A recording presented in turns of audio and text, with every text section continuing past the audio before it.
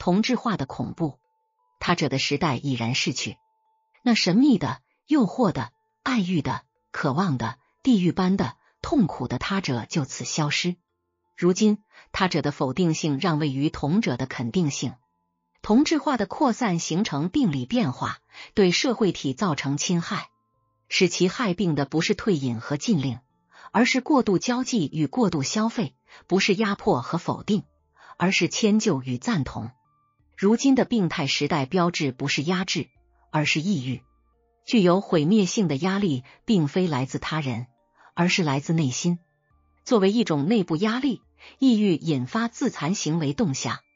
抑郁的功能主体仿佛被自己打死或扼杀。具有毁灭性的不仅仅是他者的暴力，他者的消失触发了另外一个全然不同的毁灭过程，即自我毁灭。暴力辩证法无处不在，拒绝他者否定性的体系会引发自我毁灭动向。同质化的暴力因其肯定性而不可见，同质化的扩散日渐严重，自某一特定的点开始。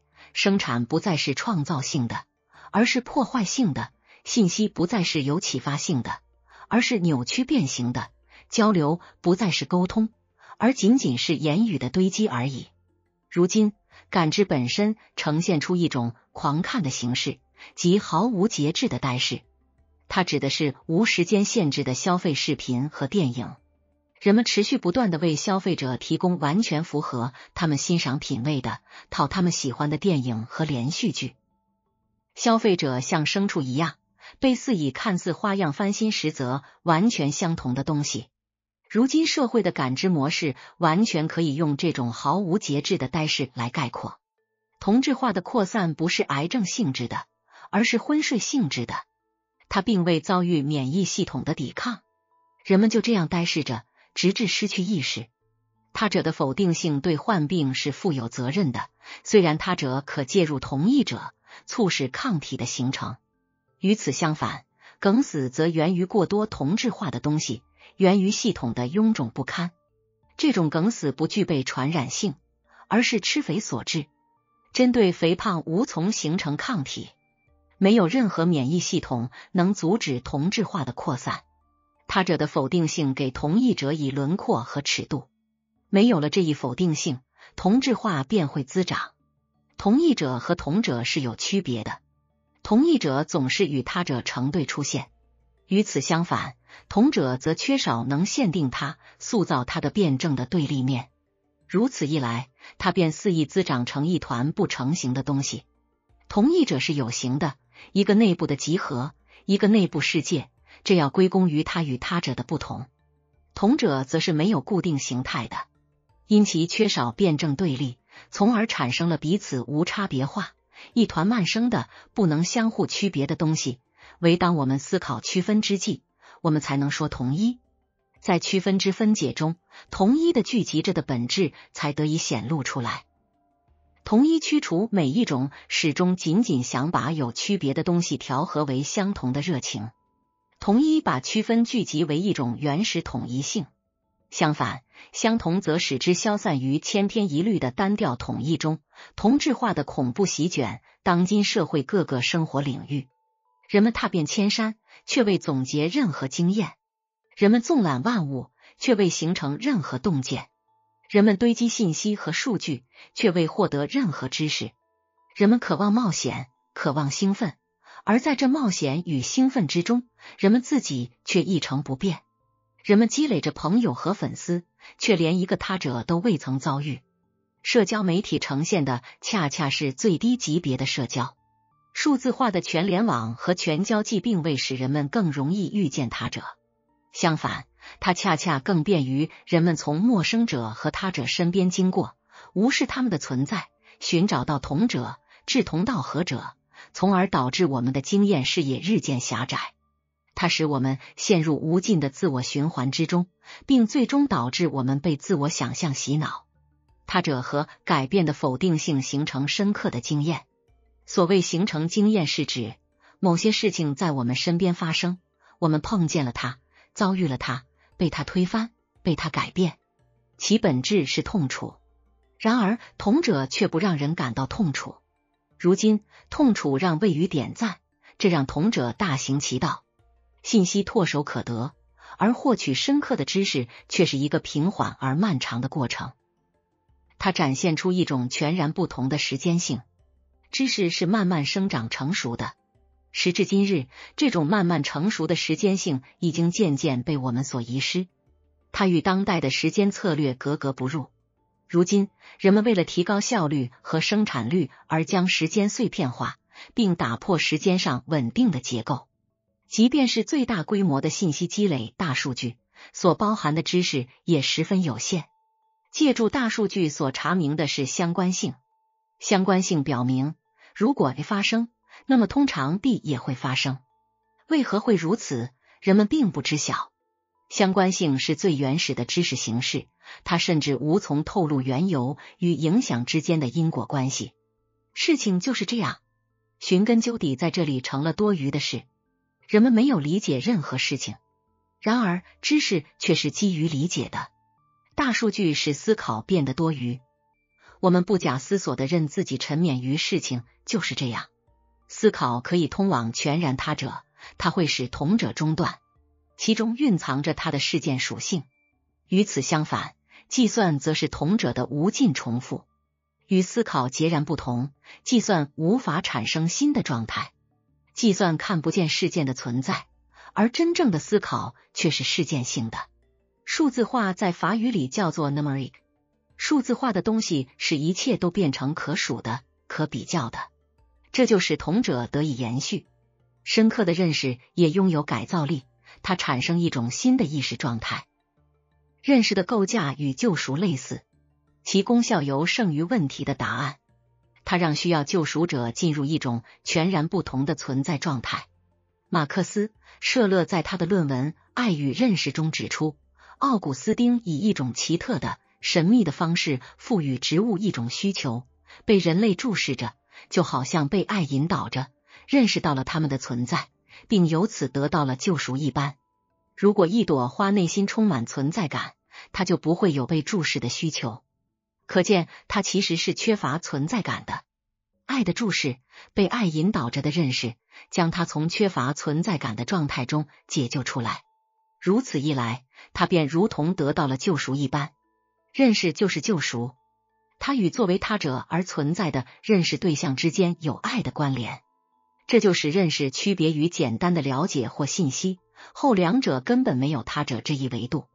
事件中蕴含着否定性，因为它生成一种全新的与现实的关系，一个崭新的世界，一个对实然的不同理解。它让万物突然在另外一种完全不同的光芒中现象。海德格尔的对存在的遗忘，正是这种对事件的视而不见。海德格尔会说，如今的交际噪声、资料与信息的数字化风暴时，我们在面对真相发出的无声轰鸣，面对其平静的威力时，听觉尽失。轰鸣，这是真相。就算是踏进人群当中，踏进隐喻的暴风雪中，数字革命之初，其设想是很有些乌托邦性质的。比如福卢瑟就把数字化联网提升为博爱的技术。生而为人，则意味着与他人有关联。数字化联网应能成就一种独特的共鸣，牵一发而动全身，网络震动摇摆，那是一种激情，一种共鸣。这是电信与信息学的基础。如此密切的关联，既讨人喜爱，又惹人生厌。笔者相信，电信与信息学是博爱的技术。是使犹太、基督教德行其道的技术，它的基础是移情作用。为成就利他主义，它摧毁人道主义。单单是这一可能性就已经够震撼了。然而，如今的网络已变成一个特殊的共振空间，一个回音室，任何不同与陌生都被消除了。真正的共鸣以他者的切近为前提。如今，他者的切近让位于同者的无差别。全球化交际只允许相同的他者或其他的同者存在。切近和疏远是辩证对立的。消除了远，并不等于产生了近，相反，这恰恰摧毁了近，取而代之的是一种完全的无差别性。切近和疏远彼此渗透交织，一种辩证的对立将二者紧密相连。所谓辩证的对立，在于事物恰恰是被其对立面、被不同于它本身的他者赋予生机与活力。如无差别性这般全然的肯定，则缺少这种活力。正像同一者与他者一样，切近与疏远彼此辩证协调。如此一来，无论是无差别性还是同者，都无法存续了。数字化的无差别性消除了切近与疏远的所有表现形式。一切都是同等的近或同等的远。痕迹与光芒，痕迹是近的现象，留下多少痕迹就表明可能到达多远；光芒是远的现象，造成多大影响就表明可能离你多近。这光芒中蕴含着他者、陌生者与谜题的否定性。数字化的透明社会使世界失去其光芒和神秘属性，正如大部分色情片的视觉效果那样。超近距离和过度感光破坏了所有能散发光芒的距离感。然而，正是这种距离感才造就情欲本身。色情片中的所有身体千篇一律，拆分成身体部位来看也是大同小异。所有语言皆被剥离，身体被削减至性爱本身，除了两性之间的差异外，再无任何区别。色情片中的身体不再是表演的场地。不再是华丽的舞台，不再是被赋予梦和神性的童话般的外观。它乏善可陈，它魅力全无。色情片所呈现的内容毫无叙事性和情节可言，身体如此，交际亦然。满屏满眼皆是荒淫，人们无法用赤裸的肉体去嬉戏，嬉戏需要一种幻想，一种非真实性。色情片画面中赤裸裸的真实，没有给嬉戏、给诱惑留下一丝余地。作为一种功能而存在的性，也驱逐了所有嬉戏的形式，它完全变成机械动作。新自由主义对于笑技、性感和健美体魄的强制命令，将身体降格为需要被优化的功能客体。同质化的滋长是一个充盈着空虚的膨胀体。他者的消失营造出充盈的空虚。荒淫是超视觉、超交际、超生产、超消费，它导致同质化状态的迅速达成。荒淫是同者与同者的结合。与此相反，引诱则是从同者身上夺走同质性的能力，是使同质性从自身偏离的能力。引诱的主体是他者。与效绩和生产的模式相反，引诱的模式是嬉戏。如今，就连嬉戏本身也变身为一种生产形式，工作被竞技游戏化了。查理·考夫曼的木偶动画片失常淋漓尽致的描绘了如今同质化的地狱。这部电影也可以被命名为《追寻他者》或者《爱的礼赞》。在同质化的地狱里，追寻他者是不可能的。主人公迈克尔·斯通是一位成功的励志演讲人和作家。他的代表作品名为《我该如何帮你去帮助他人》，是新自由主义世界中典型的人生指南。他的作品广受赞誉，因为他使生产率得到显著提升。然而，尽管此书大获成功，他仍然陷入了生存危机。在空洞、单调而混沌的消费与功利型社会中，他显得孤独、迷茫、百无聊赖。他失去幻想。他毫无方向，在这里，所有的人都长着同样的脸，说着同样的话。出租车司机、餐厅服务员或酒店经理所说的话，与其太太、其前女友一模一样。孩子的脸孔也与成年人别无二致。克隆人遍布整个世界，而矛盾的是，每个人又都想与众不同。迈克尔来到辛辛那提做演讲，在酒店里。他听到一个女人的声音，非常与众不同。他猜想她定是在那个房间里，于是前去敲门。他找到了她。出乎意料的是，那个女人竟然认出了他。他来辛辛那提就是为了听他的演讲。她叫丽莎。她不仅声音特别，容貌也与人相异。她觉得自己很丑陋，因为她长了一张不太符合大众审美的面孔。此外，她还有点胖。脸上有一道疤痕，他一直想用头发来遮住这道疤痕。但是迈克尔爱上了他，爱上他别样的声音，爱上他的独特，爱上他的不同寻常。沉醉于爱情的迈克尔称她为特别的丽莎。于是两人共度春宵。夜里，迈克尔做了一场噩梦，在梦中，他被多个长得一模一样的酒店女服务员跟踪，他们都想和他上床。他在同质化的地狱里穿行，在和丽莎吃早餐的时候，他的声音越来越趋同于那种千篇一律的声音，这吓坏了迈克尔。他回到家乡，到处都是同质化的荒漠，家人和朋友来迎接他，他却无法分辨他们。所有人长得都一样。他困惑的坐在一个陈旧的日本性玩具娃娃对面。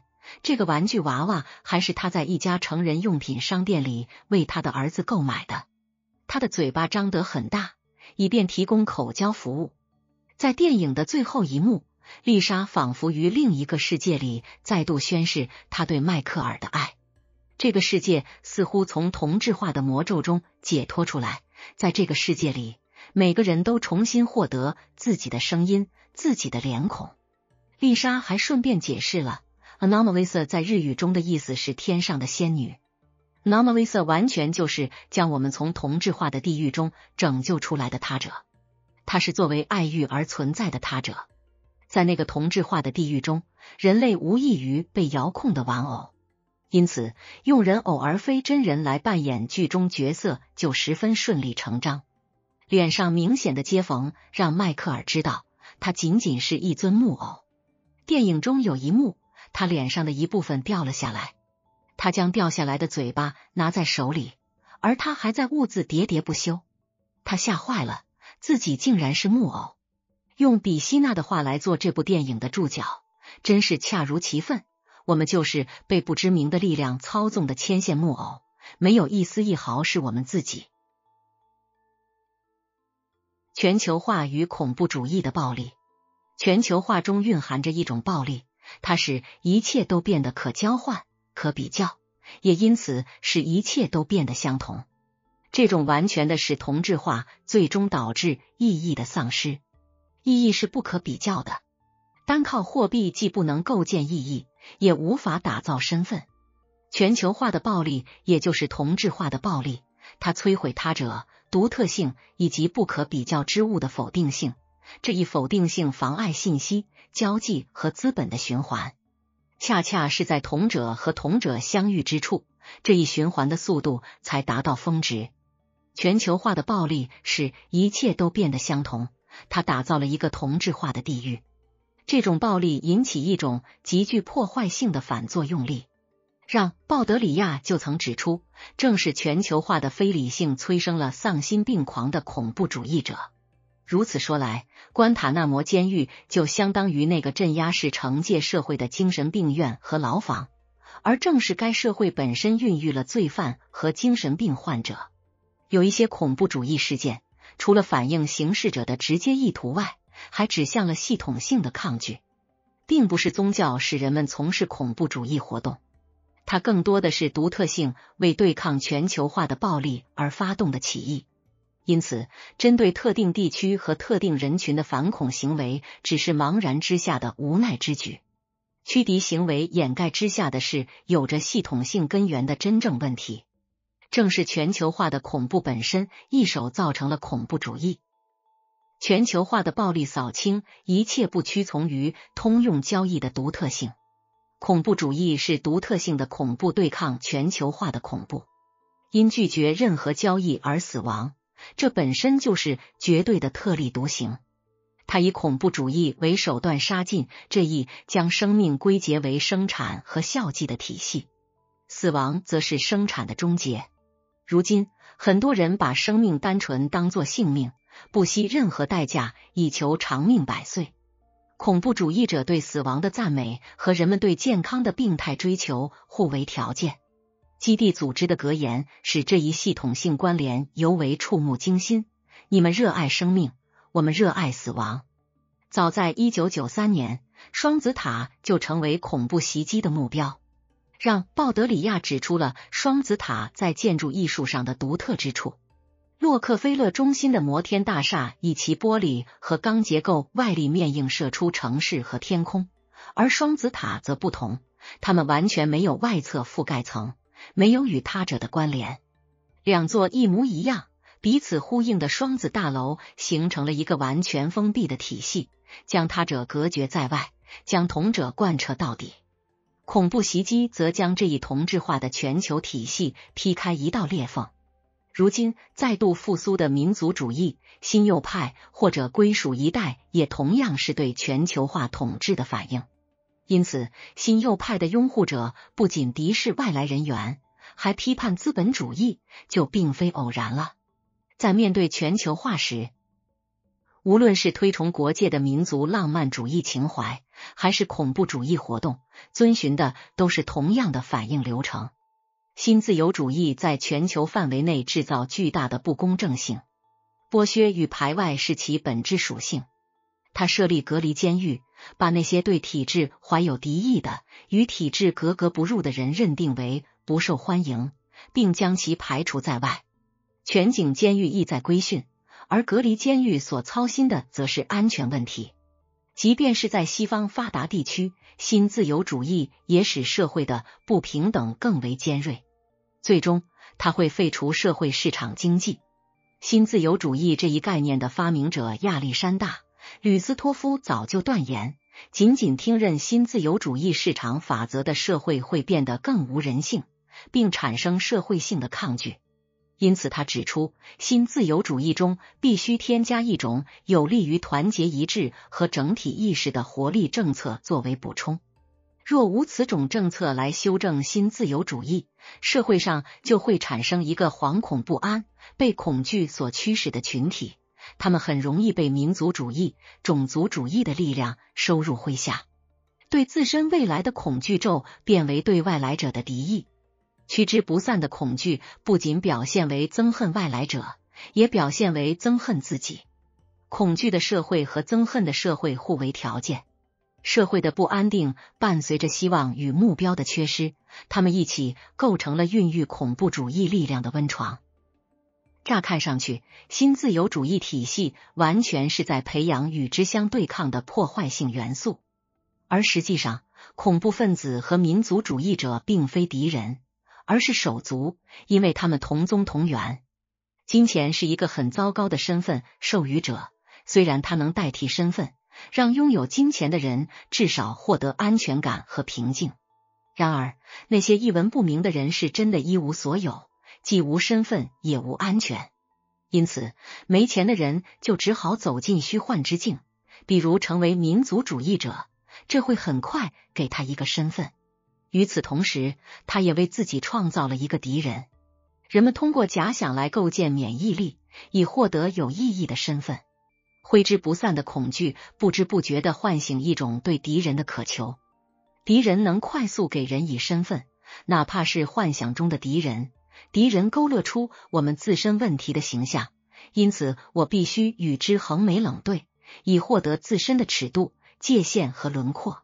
想象弥补了现实的缺失，就连恐怖主义者也栖身于他们自己的想象之中。全球化让想象空间诞生，想象的空间却带来真实的暴力。全球化的暴力同时也削弱了免疫系统的防御力，因为它影响到全球信息与资本的高速循环。恰恰是在免疫防御门槛极低的地方，资本流动的极快。如今。党同伐异的全球秩序大行其道，在这样的秩序中，其实只存在相同的他者或其他的同者而已。一道道崭新的隔离围墙平地而起，对他者的幻想犹在沉睡。他们不言不语，寂静无声。其实，移民和难民也并非他者，并非会让人们真正感受到威胁和恐惧的外来者。这些都只是想象。移民和难民更多的是让人感觉到负担。面对这些有可能成为自己邻居的人，人们怀有的是怨恨和嫉妒，这与害怕、恐惧与厌恶截然不同，并不是真正的免疫反应。敌视外来者的人们虽然不喜欢北美人，却会到人家那里去度假呢。在鲍德里亚看来，全球化的暴力是一种癌症。它像癌细胞一样扩散，通过无休止的滋长、增衍和转移。他用免疫模式来解释全球化。人们如此频繁的谈及免疫、抗体、移植和排异，绝非偶然。全球化的暴力是一种病毒性的暴力，是网络的虚拟的暴力。虚拟性是一种病毒。借助免疫学来描绘网络化是很成问题的。免疫力抑制了信息与交际的循环。点赞并不是免疫反应。全球化的暴力是一种肯定性暴力，它是后免疫性的。鲍德里亚忽略了这个对数字化的新自由主义秩序来说至关重要的范式转变。免疫性属于世界秩序。珍妮·霍尔泽的名言“保护我免受我所欲之害”，恰如其分地点明了这种肯定性暴力的后免疫属性。感染、移植、排异以及抗体，并没有解释如今毫无节制的过度交际和过量信息。过多相同的东西虽然会引发呕吐，但是这种呕吐还不算是针对他者、外来者的厌恶。厌恶是一种紧急情况，一种在面对无法适应的抑制性时剧烈的自主危机。正是因为缺乏他者的否定性，才引发诸如易恶病。狂看或者狂吃等病症，这些不是病毒性的，它们更多的是源于肯定性暴力，而免疫防御系统不会对肯定性暴力做出反抗。新自由主义与启蒙时期的目标截然不同，它是非理性的，正是其癫狂产生了毁灭性的张力，并以恐怖主义和民族主义的形式宣泄出来。新自由主义所表现出来的自由是一种广告宣传。如今，全球化甚至将普遍价值也拿来为自己所用，因而自由本身也成为被榨取的对象。人们心甘情愿的奉献自己，供人剥削，还幻想着是在自我实现。使生产率与效率达到最大化的，不是对自由的压制，而是对自由的充分利用。这是新自由主义最为艰险的基本逻辑。面对全球化的恐怖，当务之急就是保护普遍价值，免受全球化所用。因此，我们需得创造出一种愿意接纳独特性的通用秩序。暴力入侵全球化体系的独特性，都是不愿与人对话的他者。拒绝对话，正是恐怖主义的特色，是其恶魔本性所在。只有在和解的状态下。即在安全的距离内保持其疏离和与众不同时，独特性才有可能放弃它的魔性。康德的永久和平正是这种和解状态。他以理性自足的普遍价值为依据。按照康德的说法，有一种所谓的贸易精神，它不会与战争共存，并且迟早会席卷每一个民族。和平虽然也是这种贸易精神逼迫下的产物。但它是一时的，不是永恒的。逼迫和平的仅仅是强势的金钱本身。全球商贸不过是手持别样武器的战争。歌德在《浮士德》中早已言明：我何须懂得航海、战争、贸易和海盗行为，本就三位一体，不可分割。全球化的暴力堪比真正的世界大战，制造难民，带来死亡。在贸易精神迫使下产生的和平，不仅有时间上的期限，还有空间上的界限。作为隔离监狱，发达国家或者说发达岛屿一周边环绕着隔离栏、难民营和战场。也许康德并未意识到这一贸易行为的魔性，或者说毫无理性。他的评判始终很温和，他相信贸易精神会带来长期的和平。然而。这样的和平只是表象，这种贸易精神只是精于算计，却缺乏理性。因此可以说，不理性的正是被贸易精神、被金钱势力掌控的体制本身。如今的难民危机恰恰揭露出，欧盟无异于一个唯利是图的经贸组织。对于康德来说，作为欧洲自由贸易区，作为代表各自民族国家利益的政府之间的合约团体。欧盟不可能是理性的产物，不可能是理性引导下的国际联盟。只有以维护人类尊严等普遍价值为己任的宪政联盟，才有可能是理性引导下的联盟。康德倡导无条件的热情好客，如此才能最大限度的实现他所主张的理性引导下的永久和平。按照他的想法，每个外来者都拥有在他国停留的权利，他可以逗留于此，不被敌视，只要他安分守己，不惹是生非。康德认为，没有人比其他人更有权利停留在这世界上某个地方。热情好客并非乌托邦式的想象。而是理性的强制主张。此处以及前文中论及的不是博爱，而是权利。享受热情好客是外来者的权利，是他因不被敌视而可以在他处安心落脚的权利。这种热情好客并非对权力不切实际的过度想象，而是对国内外事关公共人权的不成文法规的必要补充。如此才生出永久和平，也唯有如此。人们才有资格得意的宣称自己越来越接近永久和平。热情好客是有自知之明的普遍理性的最高表达。理性不会擅自弄权。党同伐异，凭借一份友善，他能够承认他者的不同，并愿意向他们敞开怀抱。友善意味着自由。除理性外，热情好客的理念还展现出一些普遍的东西。在尼采眼中，他表达了丰富的精神。他有能力为所有独特性提供安居之所。所有懵懂的、跋涉的、追寻的逃亡者都会在我这里受到欢迎。从现在起，热情好客是我唯一的友善。插图：热情好客承诺安定平和。在美学上，它呈现出一种美感。我们终究会因我们的善念。我们对待外来者的耐心、公正和温柔而受到奖赏，这奖赏便是外来者慢慢摘下面纱，转而展现一种全新的、无以言表的美。这是他们对我们热情好客的答谢。热情好客的政策是美丽的政策。对外来者的敌视是憎恨，而憎恨是丑陋的。它是缺乏普遍理性的表现，标志着社会仍处于尚未和解的状态。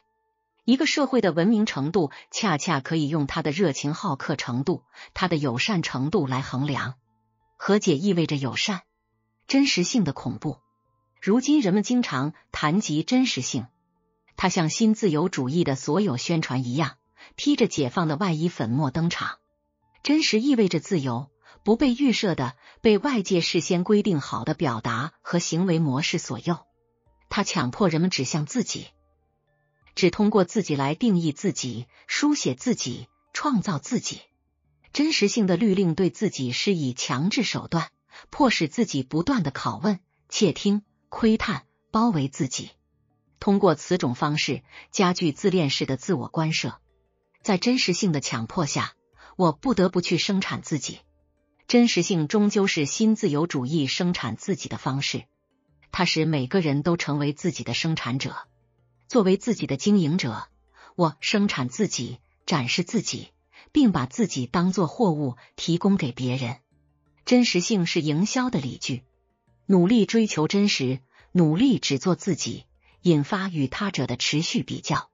比较的逻辑使意志转化为同质。如此一来，他者的真实性更加强了社会的一致性。它只允许体制框架内差异的存在及多样性。作为新自由主义的惯用语，多样性是一种可以被充分榨取的资源，而相异性则拒绝任何形式的经济利用，因此二者相互对立。如今，每个人都想与众不同，然而在这种愿望下，同者却大行其道。这里我们要面对的是更高层级的一致性。穿过他者的丛林，同者仍不改初心。论及如何贯彻一致性。他者的真实性甚至比强制的同质化更加有效，后者比前者脆弱的多。作为众人倾慕的对象，苏格拉底被他的学生们称为不可名状。我所渴求的他者是居无定所的。他回避一切比较。对于他者的无定所学说，罗兰·巴特在《恋人絮语》中这样写道：“作为不可名状的存在，他者让语言站立，人们无法提及。”谈论他，任何修饰都是错误的、痛苦的、失礼的、尴尬的。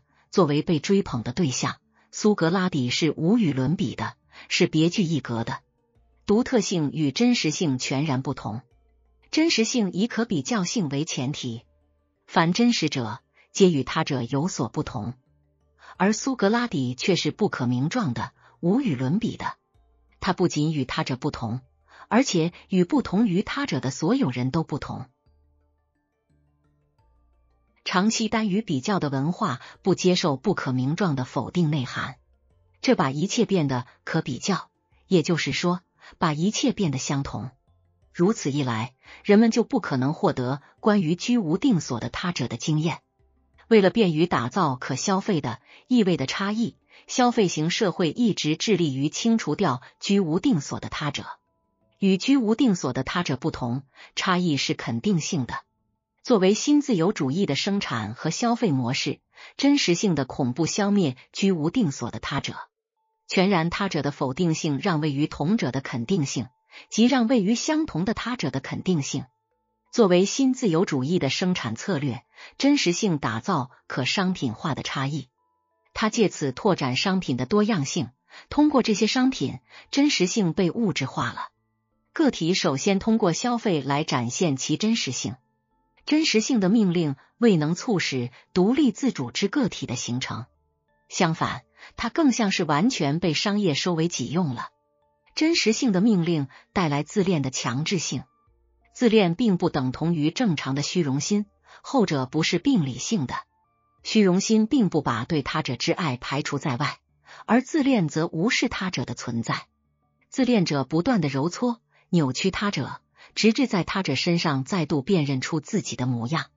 自恋的主体只是在自己的影子中领悟这个世界，由此导致灾难性后果。他者消失了，自我与他者的界限渐渐模糊，自我扩散开来，漫无边界。我沉溺在自我之中，只有面对他者时，才能形成一个稳固的自我。相反，过度自恋式的自我关设所产生的是一种空虚之感。如今，人们将性方面的能量主要灌注在自我身上，自我性力的自恋式累积导致客体性力的瓦解。客体性力指的是拥有对象的性力，客体性力制造与对象的关联，而这种关联使我更加稳定。自我性力的自恋式淤积会引发疾病，它会催生恐惧、羞惭、负罪、空虚等负面情绪。但是如果某种特定的强有力的过程迫使性力从客体身上抽离，那就大为不同了。已经自恋化的性力无法再找到回归客体的路，而性力的这一活动障碍是会致病的。也许当自恋式性力累积超过一定量时，人们就无法承受了。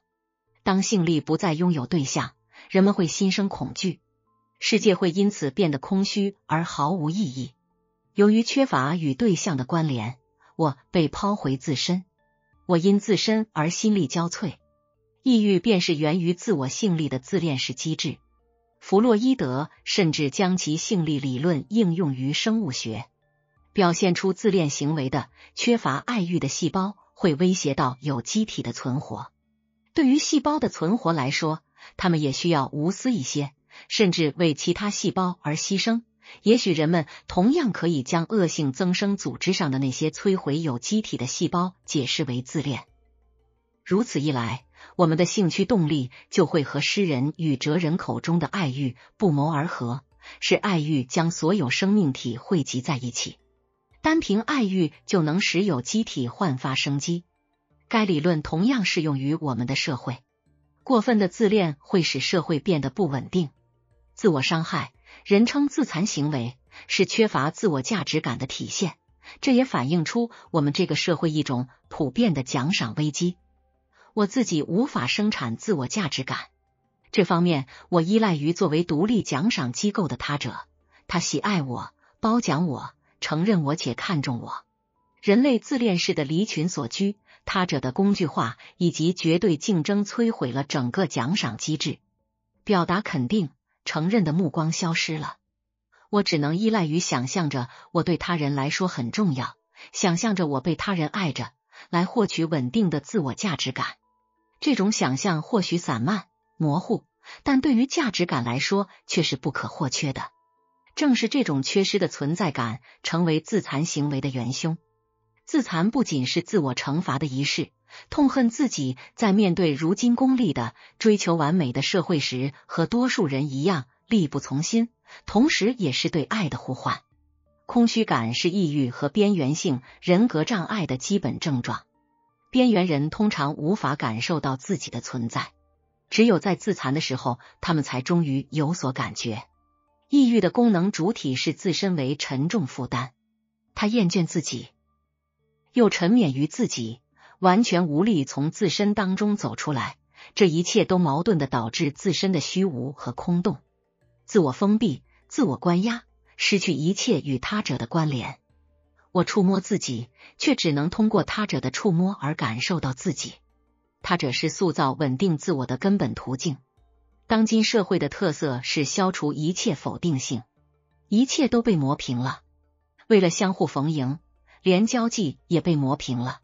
任何语言、任何表达方式都不许触碰悲伤这样的消极情绪。人们避免来自他者的任何形式的伤害，但他却以自我伤害的方式复活。在这里，人们再次印证了这一普遍逻辑：他者否定性的消失引发自我毁灭的过程。按照阿兰·埃亨伯格的说法，抑郁的获胜以失去与冲突的联系为基础。如今，校际与优化的文化没有给冲突留下活动空间，因为它很耗时。如今的功能主体只知道两种状态：好用或不好用。这一点与机器相似，机器也不知冲突为何物，他们要么顺畅的工作，要么就是坏了。冲突不是破坏性的。他们有建设性的一面，只有从冲突中才能产生稳定的关系和身份。一个人在处理冲突的过程中长大和成熟起来。自残的诱惑力在于堆积的破坏性张力得以快速释放，不必耗费时间和精力去处理冲突。张力的快速释放被交托给化学方法来完成。生于体内的毒素被倾倒一空。其作用方式类似于抗抑郁药，抗抑郁药也是抑制冲突状况，使抑郁的功能主体迅速的恢复功能。自拍瘾实际上跟虚荣心关系也不大，它无非就是孤独、自恋的自我在瞎忙。面对内心的空虚，人们徒劳的尝试着卖弄自己，博人眼球。唯有空虚在自我复制，自拍照是自身的空虚形态。自拍瘾加剧了空虚感，导致这一结果的不是虚荣心，而是自恋的自我关涉。自拍照是自身的美丽平面，而这自身空洞不安。为了逃避空虚感的折磨，人们要么拿起刀片，要么拿起智能手机。自拍照是让空虚的自我短暂退隐的扁平表面。倘若把照片翻过来，人们就会撞见那伤痕累累的背面，汩汩流着血。自拍照的背后是伤口，自杀性袭击会是一种变态尝试吗？尝试感受自我，尝试重新建立毁掉了的自我价值感，尝试将压得人喘不过气来的空虚感炸飞或一枪打飞。我们能把恐怖分子的心理和自拍、自残的心理相比较吗？这也是他们为对抗空虚自我而采取的手段吗？恐怖分子是否跟那些自我伤害、将攻击性施于自身的青少年拥有相同的心灵轨迹呢？大家都知道，男孩与女孩不同，他们通常将攻击性向外部、向他者宣泄。自杀性袭击极有可能是一种很矛盾的行为，攻击自己和攻击他人合二为一，自我生产和自我毁灭同时进行，它是更高强度的攻击性。同时，却也被想象成最惊心动魄的终极自拍。按下引爆的按钮，就等于按下相机的快门。恐怖分子之所以有这样的想象，是因为这充满歧视和绝望的现实不值得再为之生活下去。现实不给他们任何奖赏，因此他们把上帝引为负责奖赏的独立机构。同时，他们也非常清楚。行凶之后，他们的照片就如同一种自拍照，会立即登上各大媒体，循环播放，广为流传。恐怖分子是身负炸药包的自恋者，这炸药包为他更添几分真实。卡尔·海因茨，博尔曾在他的杂文《真实性与恐怖》中断言，恐怖主义是真实性的最后一幕。这种说法不无道理。恐惧引发恐惧的原因多种多样，首要的就是陌生，是茫然失所，是不熟悉。恐惧的前提是全然他者的否定性。按照海德格尔的说法，在面对无的时候，恐惧便会苏醒。无被理解为存在者的全然他性。无的否定性，无的深不可测，对于今天的我们来说已然十分陌生，因为世界成了百货商店，店里摆满了存在物。在《存在与时间》一书中，恐惧是产生于公众意见之在家状态，公众解释及日常熟悉的认知与行为模式轰然倒塌，并让位于不在家之时。恐惧将此在海德格尔的存在论对人的称谓从熟悉而习惯的日常中，从社会的一致性中拉扯出来。在恐惧中，此在与茫然失所相对而立。常人扮演着社会的一致性，他为我们规定好了该如何生活、如何作为、如何感知、如何思考、如何评判。常人怎样享乐，我们就怎样享乐。常人对文学艺术如何阅读、如何观赏、如何判断，我们就如何阅读、如何观赏、如何判断。常人对什么东西愤怒，我们就对什么东西愤怒。常人的独裁使此在远离其最本己的能在，远离其本真。在这样一种安定和谐的共处同在之中，此在丢失了他最本己的能在，完全消解在他人的存在方式中。熟悉的理解视野的崩塌带来恐惧，而只有在恐惧中，最本己的能在才能将自己存在的可能性揭蔽于此在面前。如今这世上当道的并非千人一面的整齐划一，也就是我们所说的常人，而是观点与选择的多样性。这种多样性只允许与体系相符合的差异存在，它所呈现的是可消费的他性。这种可消费性是人为的。它比整齐划一更有效的推进同质化的发展，这是因为人们被表面的多姿多彩迷了双眼，而对同质化的系统性暴力浑然不觉。异彩纷呈和琳琅满目伪装成一种并不真实存在的他性。海德格尔的本真与真实完全不同，他甚至与之相悖。根据《存在与时间》一书中的术语。如今的所谓真实，极可能是非本真的一种形式。日常状态的崩塌发生于本真之前。当此在被从安定的常人世界拉扯出来，他便直面不在家的茫然失其所在之感。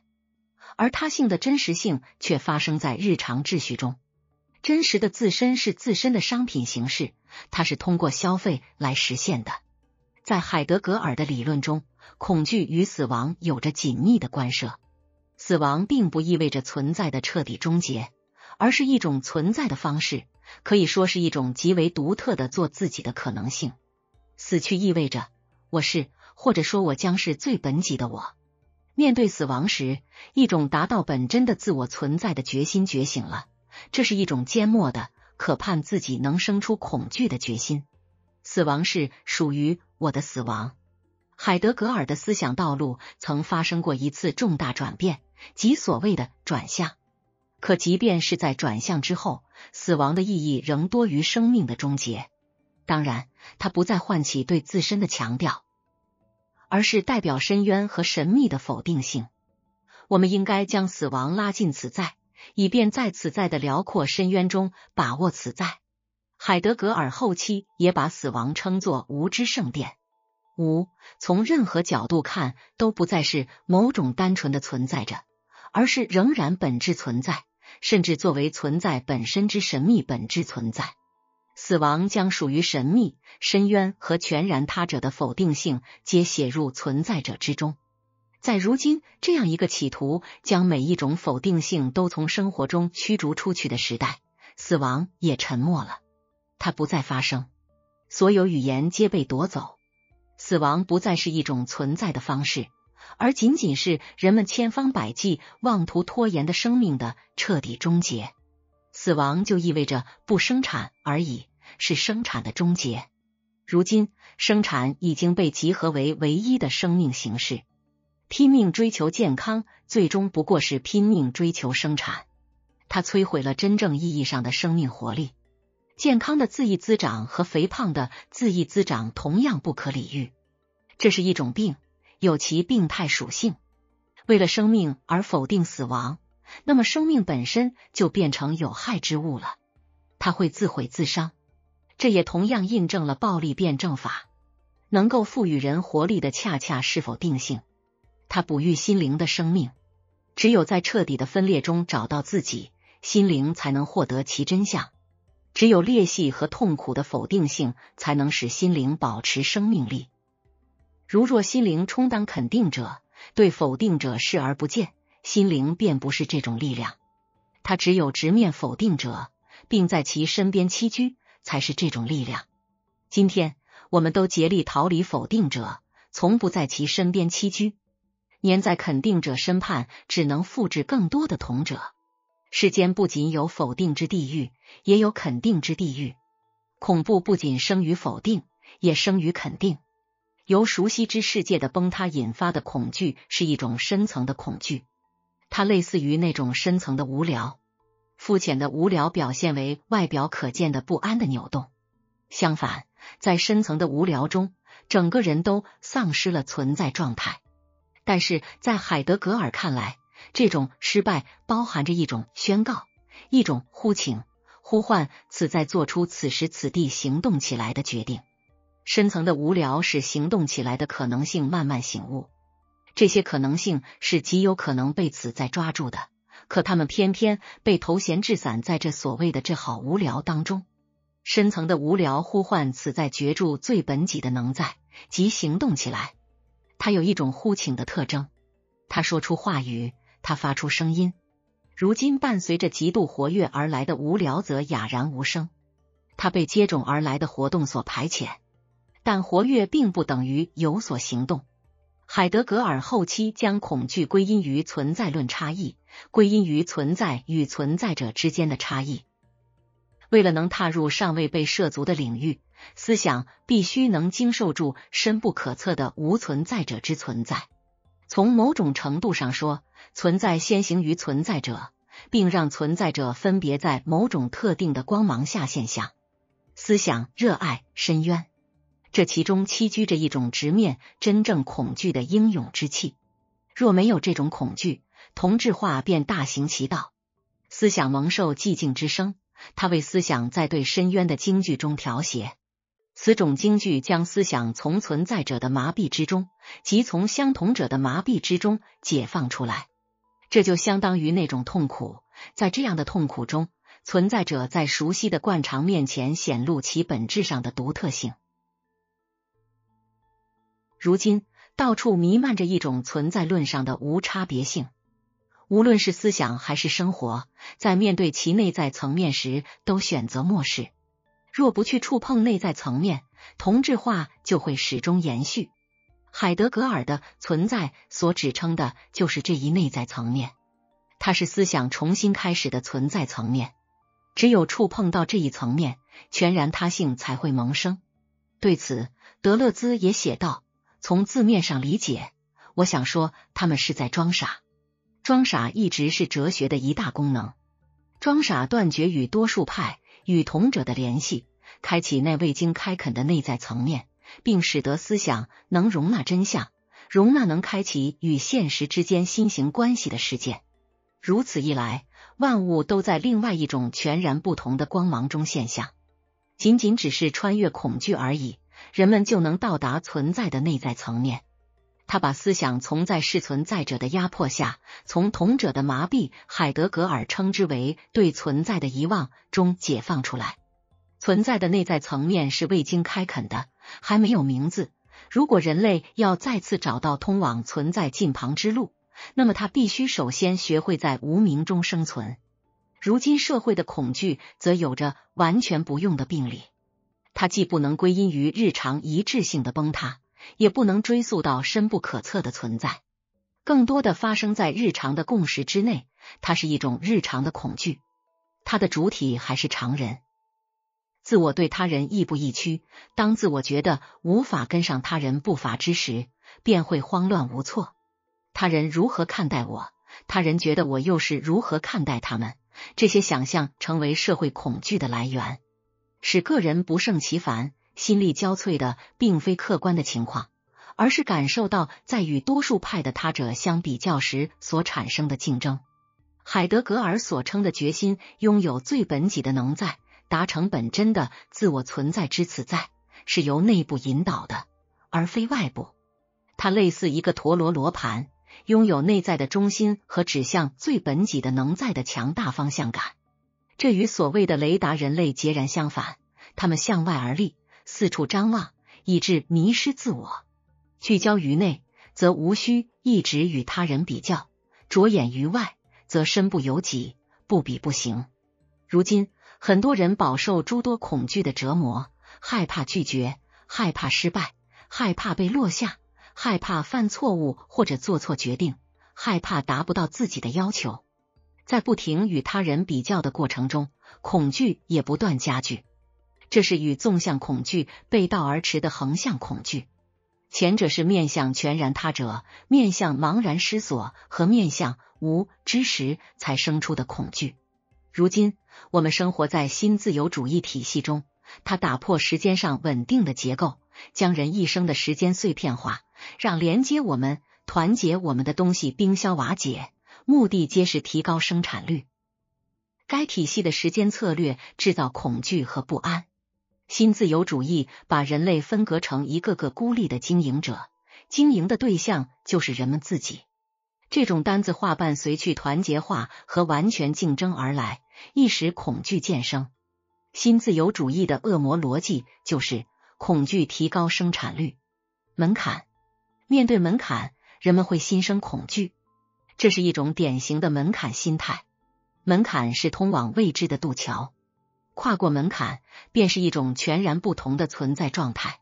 因此，死亡一直被刻写在门槛上。在所有的过渡礼仪中，人们都死于门槛此端。而为了在彼端重生，在这里，死亡被理解为渡桥。跨越门槛的人就要经历转变。作为转变之场所，门槛是令人痛苦的。这其中蕴含着痛苦的否定性。如果你感受到身处门槛的痛苦，那么你便不是游客，渡桥便有可能存在。如今，拥有着一道道门槛的渡桥消失不见了，取而代之的是可以畅行无阻的通道。在互联网中，我们比任何时候都更像游客。我们不再是栖居一道道门槛中的痛苦之人。游客们不曾经历转变，无从感受痛苦，便也因此如死水一般，百事不易，在同质化的地狱中游荡。门槛会使人惊恐、害怕，但也会令人喜悦、陶醉。他们激发对他者的想象，为追求全球资本、交际和信息的高速流通。人们拆掉了门槛，打造了一个畅通无阻、一路坦途的空间。空间内部的一切飞速流转，这里却生出一种新的恐惧，一种完全脱离了他者否定性的恐惧。作为新兴生产方式，数字化交际彻底打破所有距离，以加速自身运行。所有保护性的距离也就此消失了。在超交际中，万事万物皆融于一炉。内在和外在之间的壁垒也愈发脆弱。如今，我们完全被外化为一个纯粹的平面，暴露在无孔不入的网络中。这种强制性的透明化克服了一切视觉与信息缺口，世间万物清晰可见。它不给人任何退路，令所有安全空间消失不见。万事万物汹涌而来，而我们却无遮无挡，亦无处可藏。我们本身也只是全球网络中的通道而已。透明化和超交际夺走了保护着我们的内心世界。是的，我们是自愿放弃了内心世界，甘于受数字化网络的奴役，任由他们穿透、照透、刺透我们。数字化的过度曝光与毫无遮掩带来一种潜在的恐惧，它并非源于他者的否定性，而是源于过多的肯定性。同质化的透明地狱并没有驱离恐惧，令人胆寒的正是同质化愈发震耳欲聋的轰鸣。异化。阿尔贝·加缪的小说《局外人》描写了身处局外之感，这是一种根本的存在与生存感受。人类面对世界是局外人，在人群中是局外人，面对自己同样是局外人。话语之诈将主人公莫尔索与他人隔绝，陌生表现为无言，人人都深陷牢笼，彼此分隔，而这牢笼的四壁便是话语之诈。这份陌生既不属于当今这个超交际时代，也不属于作为舒适区或百货商店而存在的世界。保罗·策兰的诗《话语之诈》所讲的也是这份陌生的体验。若我如你，若你如我，我们不都曾经站在一阵信风里？我们都是异乡人，瓷砖上面紧挨着一对心儿灰灰的水洼，两个满口的沉默。如今。我们热衷于一种毫无拘束的交际，这种数字化的超交际令你我昏昏沉沉，意识几近模糊。喧闹嘈杂的交际并没有使我们的孤独感少一些，或许它比话语之诈更加令人孤寂。虽隔着话语之诈，对面总还有一个你，他还守护着这份疏远的切近。与此相反，超交际既摧毁了你，也摧毁了近。关系被连接所代替，无距离赶走了近距离。两个满口的沉默所包含的亲近和语言，可能比超交际还要多些。沉默尚是一种语言，交际噪声则不然了。如今，我们将自己安置在一个舒适区中，陌生之否定性被彻底清除。这里的标语是点赞，数字荧屏愈发将陌生与茫然失所之否定性隔绝在外。当下。这份陌生阻碍了信息与资本的高速循环。就这一点来说，它是不受欢迎的。对加速的强求将一切同质化。超交际的透明空间毫无神秘性，缺乏陌生感，也没有不解之谜题。作为一己而存在的他者也一并消失了。如今的劳动关系已无法用马克思的异化理论来阐释。劳动异化的意思是，劳动所得的产品之于工人来说，成了一个异己的对象。工人既不能从他的产品中，也不能从他的作为中再度辨认出自己。他创造的财富越多，自己就越贫穷。他的产品被夺走，工人的作为恰恰导致了他的非现实化。劳动的现实化竟如此表现为非现实化，以至于工人非现实化到饿死的地步。他越是劳心劳力，就越深的陷入剥削者的统治之中。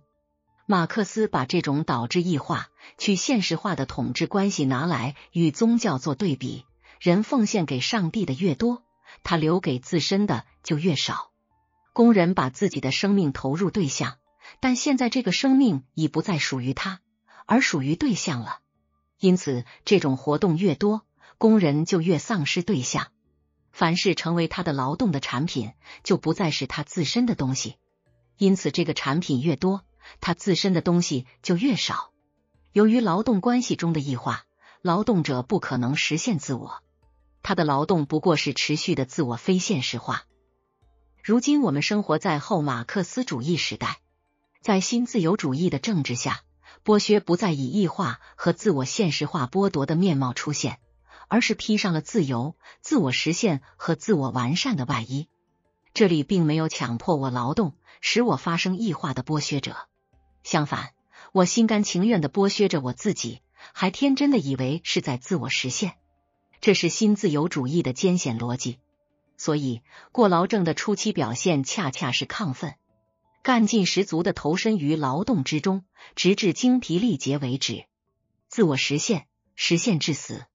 自我完善，完善而亡。新自由主义的统治藏身于幻想中的自由背后，它与自由携手并立于我们面前之际，正是它大功告成之时。这种感觉上的自由消弭了任何反抗、革命的可能性，这才是它的致命之处。有什么可反抗的呢？已经没有人再压迫你了呀。珍妮·霍尔泽所说的“保护我免受我所欲之害”，将这一范式转变表达的十分贴切。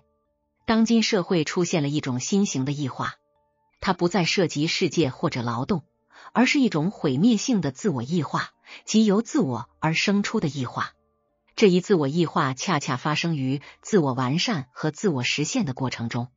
当功能主体将其自身，比如其身体，当成有待完善的功能对象之时，它便逐渐走向异化了。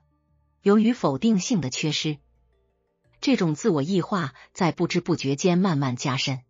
能摧毁自我的，不仅是自我剥削，还有自我异化。在病理上，它表现为对身体意象的破坏。厌食症和暴食症，或称伴都是日渐加剧的自我异化之症状。到最后，人们便感觉不到自己的身体了。对抗体，客体一词来源于拉丁语中的动词 obser，有阻挡、劝诫、指责之意。客体首先是一个抨击我、拦阻我、违逆我、反驳我、与我相左、向我发起反抗的对立，其中蕴含着它的否定性。客体的这层含义在法语词 jection 中也有体现，其意为反对或者异议。在场物作为客体的经验，极有可能比其作为对象的表象更为原始。表象行为发生时，表象主体主宰着被表象的对象，前者将后者置于自己身畔。此时，对象大大丧失了对立之否定性。作为消费的客体，商品完全缺乏 opposite 的否定性，它不会指责我、控诉我，也不会与我针锋相对。与此恰恰相反。他依偎过来讨好我，又我喜欢上他。对立和相对的缺席，正是当今社会的认知特征。世界正逐渐失去对立之否定性。数字媒体加速了这一发展进程。数字领域的秩序与世界秩序，或者说地球秩序相对立。海德格尔后期的哲学思想针对的正是世界秩序。他口中一再吟咏着山峦之凝重与原石之坚硬。也时常谈及年轻农夫那沉重的角状雪橇和高耸的冷山奥利风雪，以及对面那陡峭的山坡。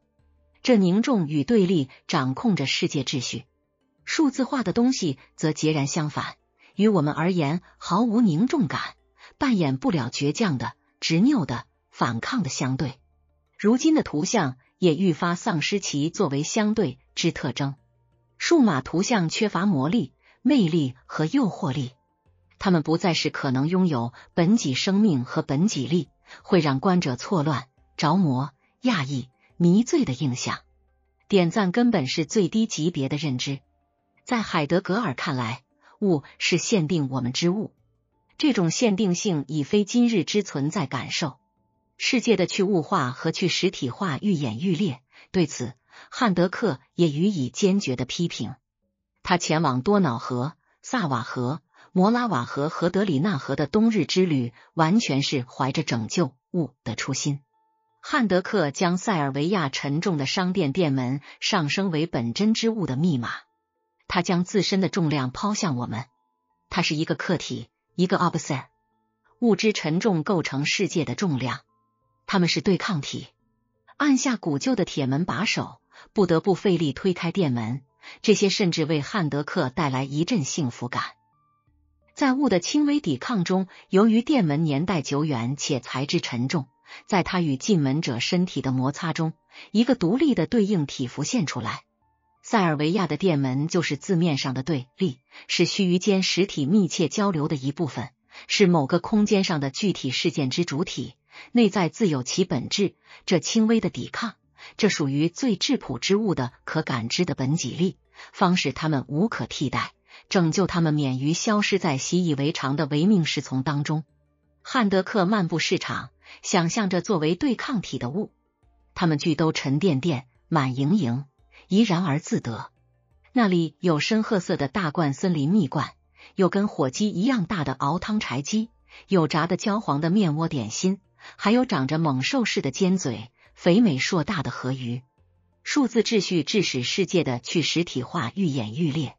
如今，实体间的交流越来越少了，同时，它也消除了对抗体，从物那里夺走其质地之沉重感、尺度、自身的重量、本己生命和本己时间，令他们招之即来，挥之即去。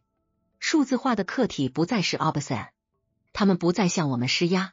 不再抵抗，对立的消失遍及当今世界各个层面。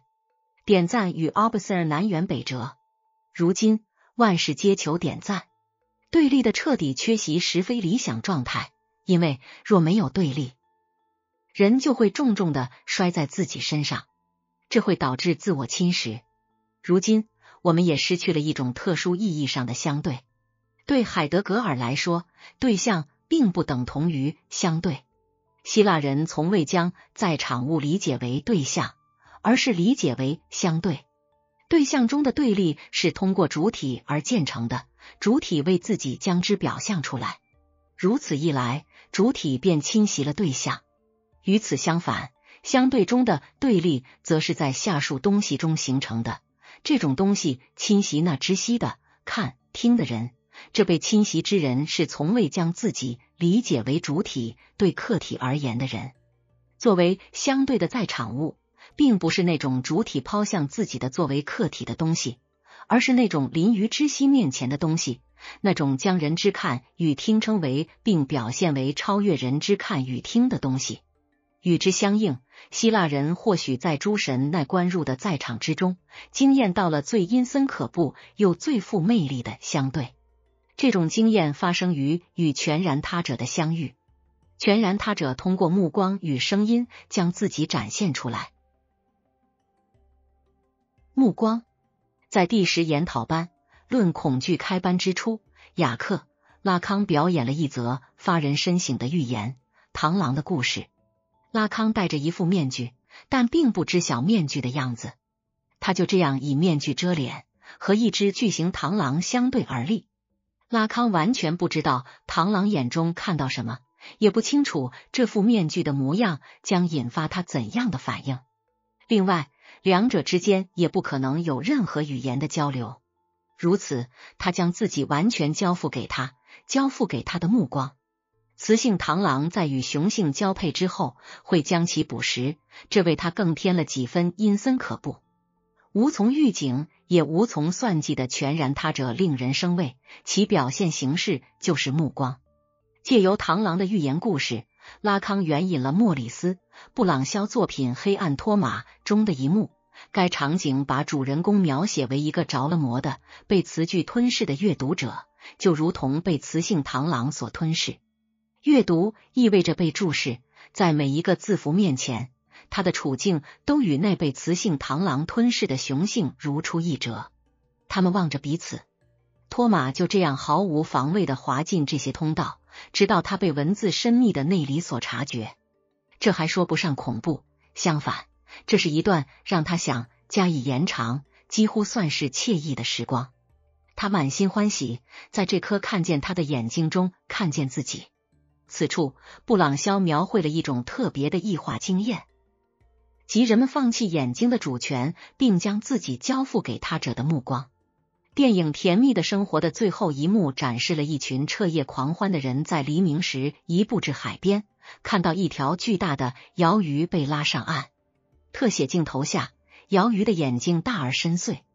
男主人公马塞洛喃喃自语道：“他一直盯着我们看，目不转睛。”雅克拉康曾多次探讨这最后一幕。在精神分析伦理学研讨班中，拉康将影片中凝视人类的鳐鱼描述成令人作呕之物。那时那刻，正是黎明破晓之际，一群大活人立于海边的松树间。在微微摇曳的光影下一动不动，仿佛就要魂飞魄散。突然迈步朝着一个我所不知的目标奔去，这目标就是那受到很多人喜爱的东西。在他身上，人们重新找到了我那著名的物，那不知怎么有点令人作呕的东西，那被人用渔网拉出海面的东西。对拉康来说，此物是突出于图像表达之外的一个斑点，一种缺陷。它是以成型的行为与认知符号内部的一种残损，一道裂隙。正是这些符号构成了象征界。此物是属于实在界的，实在界回避一切表达与表象。此物是从框架中、从象征秩序中跳脱出来的一个斑点，一个细节。象征秩序是自己对自己的陈述，而此物则从这一能指的陈述的缝合点中。凸显出来。他是那凝视着人们的全然他者，由此他便引发了恐惧，就是他导致我们所有人如此的被凝视、被关涉。也就是他向我们展示出恐惧是如何在欲求的目光中显露其真容。欲求听命于希区柯克在其电影《后窗》中刻画了目光通过眼镜所取得的胜利。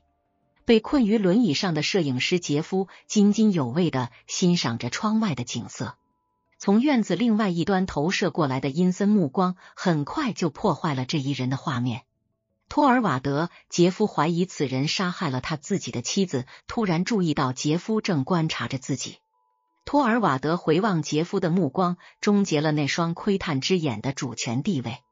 从那一刻起，现实已经不再是图画，不再是宜人的景色了。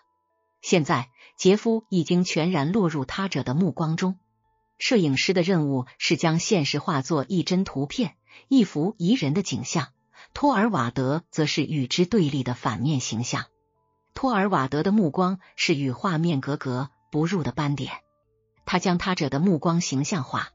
最终，托尔瓦德闯进杰夫的寓所，杰夫试图用相机的闪光灯刺激他的双眼，摧毁他的目光，把这阴森可怖之物再次收入图片，可他却并未成功。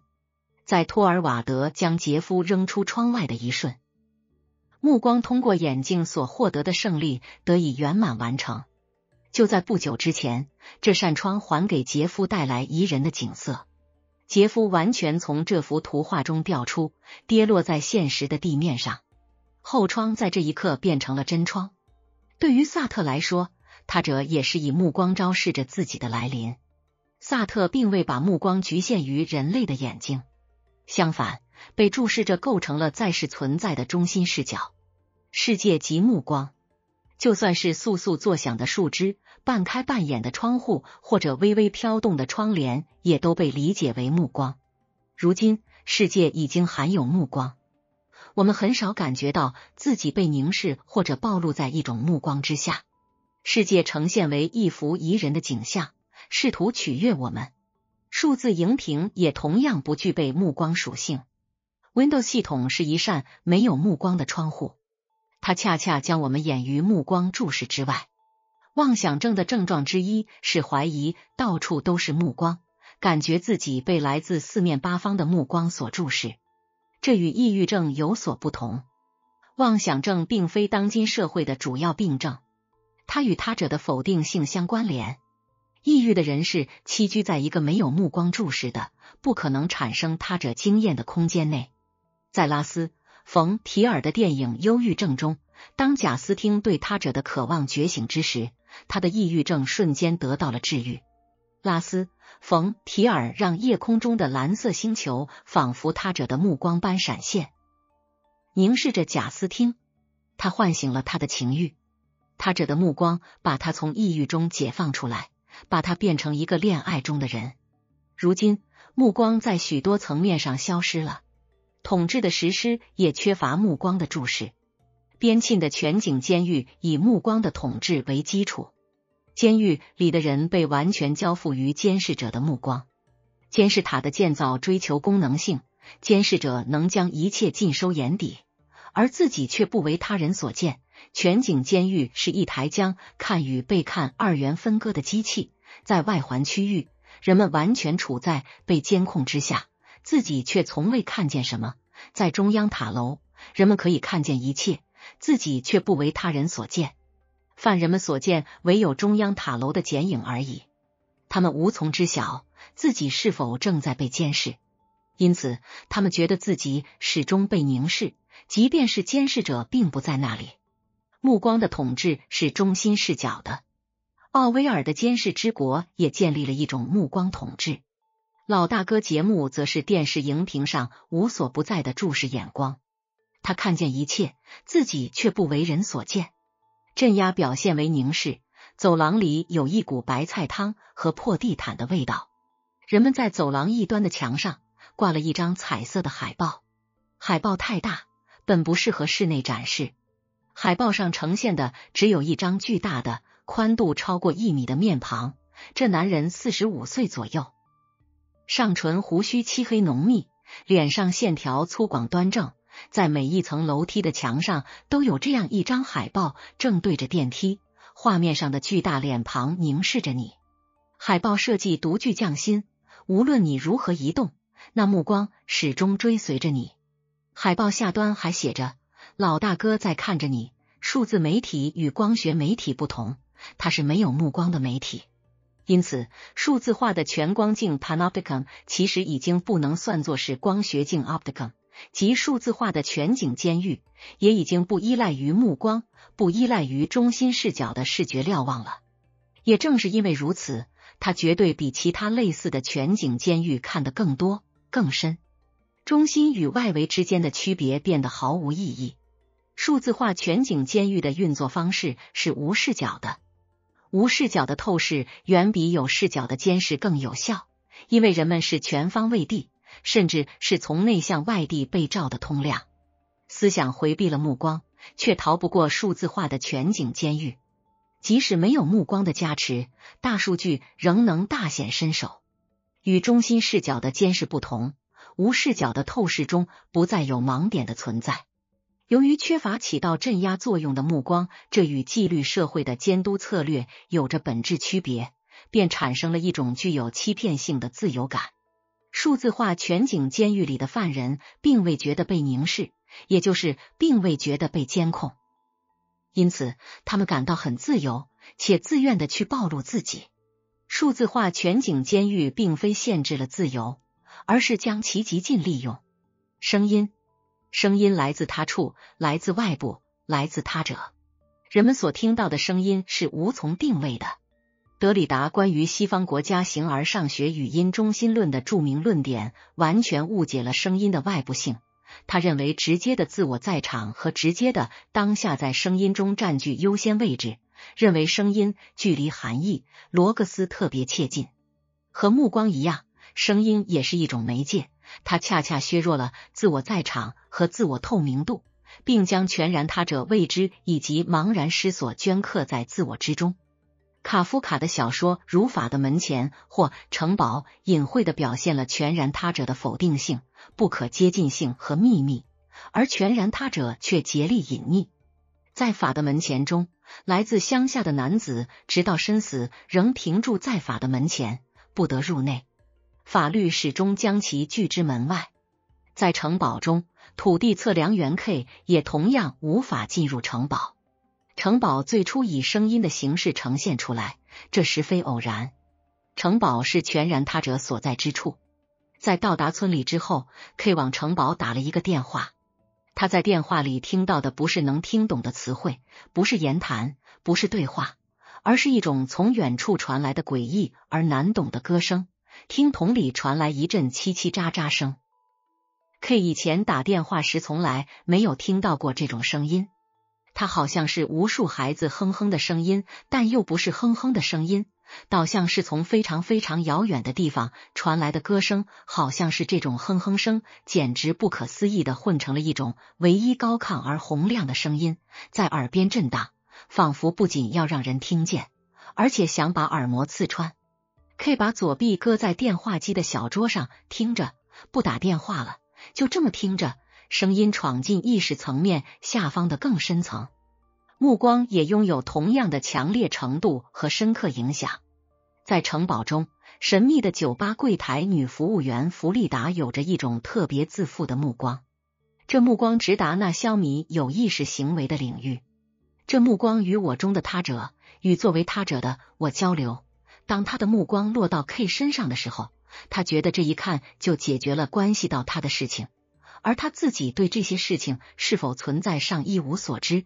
但他的目光又使他深信其存在。声音也会削弱自我在场。他在主体内部破开一道深深的裂隙，他者便通过这道裂隙闯进自我。卡夫卡的短篇小说《一条狗的研究》就是在讲一个声音。这庄严之声使森林悄无声息，它使听者完全陷入迷乱之中。我那时确实完全失态了。从正常情况来看，我已身患重病，动弹不得，可我无法抗拒这旋律。那条狗似乎随即就认定这是他自己的旋律。对卡夫卡来说，声音是全然他者的最佳媒介。只有软弱，一种形而上的虚诺，一种原始的被动，才能使一个人容易感受到他者的声音。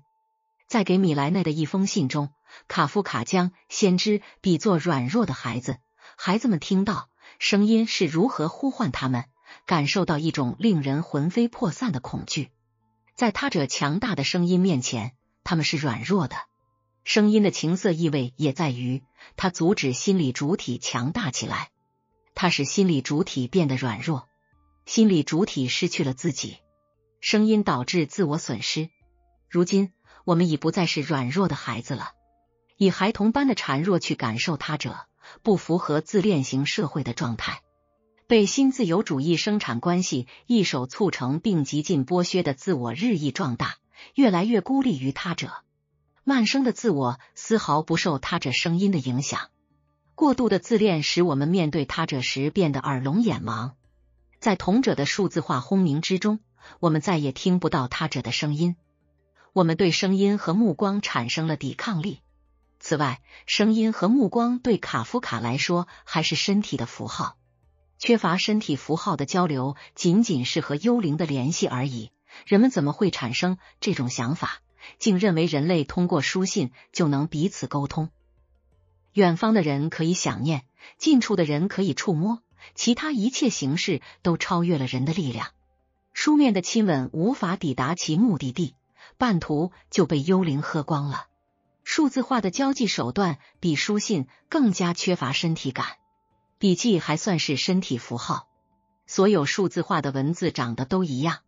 最重要的是，数字媒体磨平了他者的相对，实际上他们夺走了我们思念远者、触摸邻人的能力。他们用无距离代替了切近和疏远。罗兰·巴特用声音的纹理来描述声音的身体性，它不表现任何东西，无论是想象还是意义。声音的这一深层身体属性虽然没什么含义，但却给人带来感官的愉悦。有什么东西在那里，不容忽略。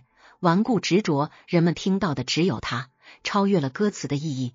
某种直接发自歌者身体的东西，通过胸腹腔、肌肉、横膈膜及喉咙软骨深处的共同运动，传到耳朵里，仿佛歌者的身体内部和他所演唱的音乐之间皮肉相连。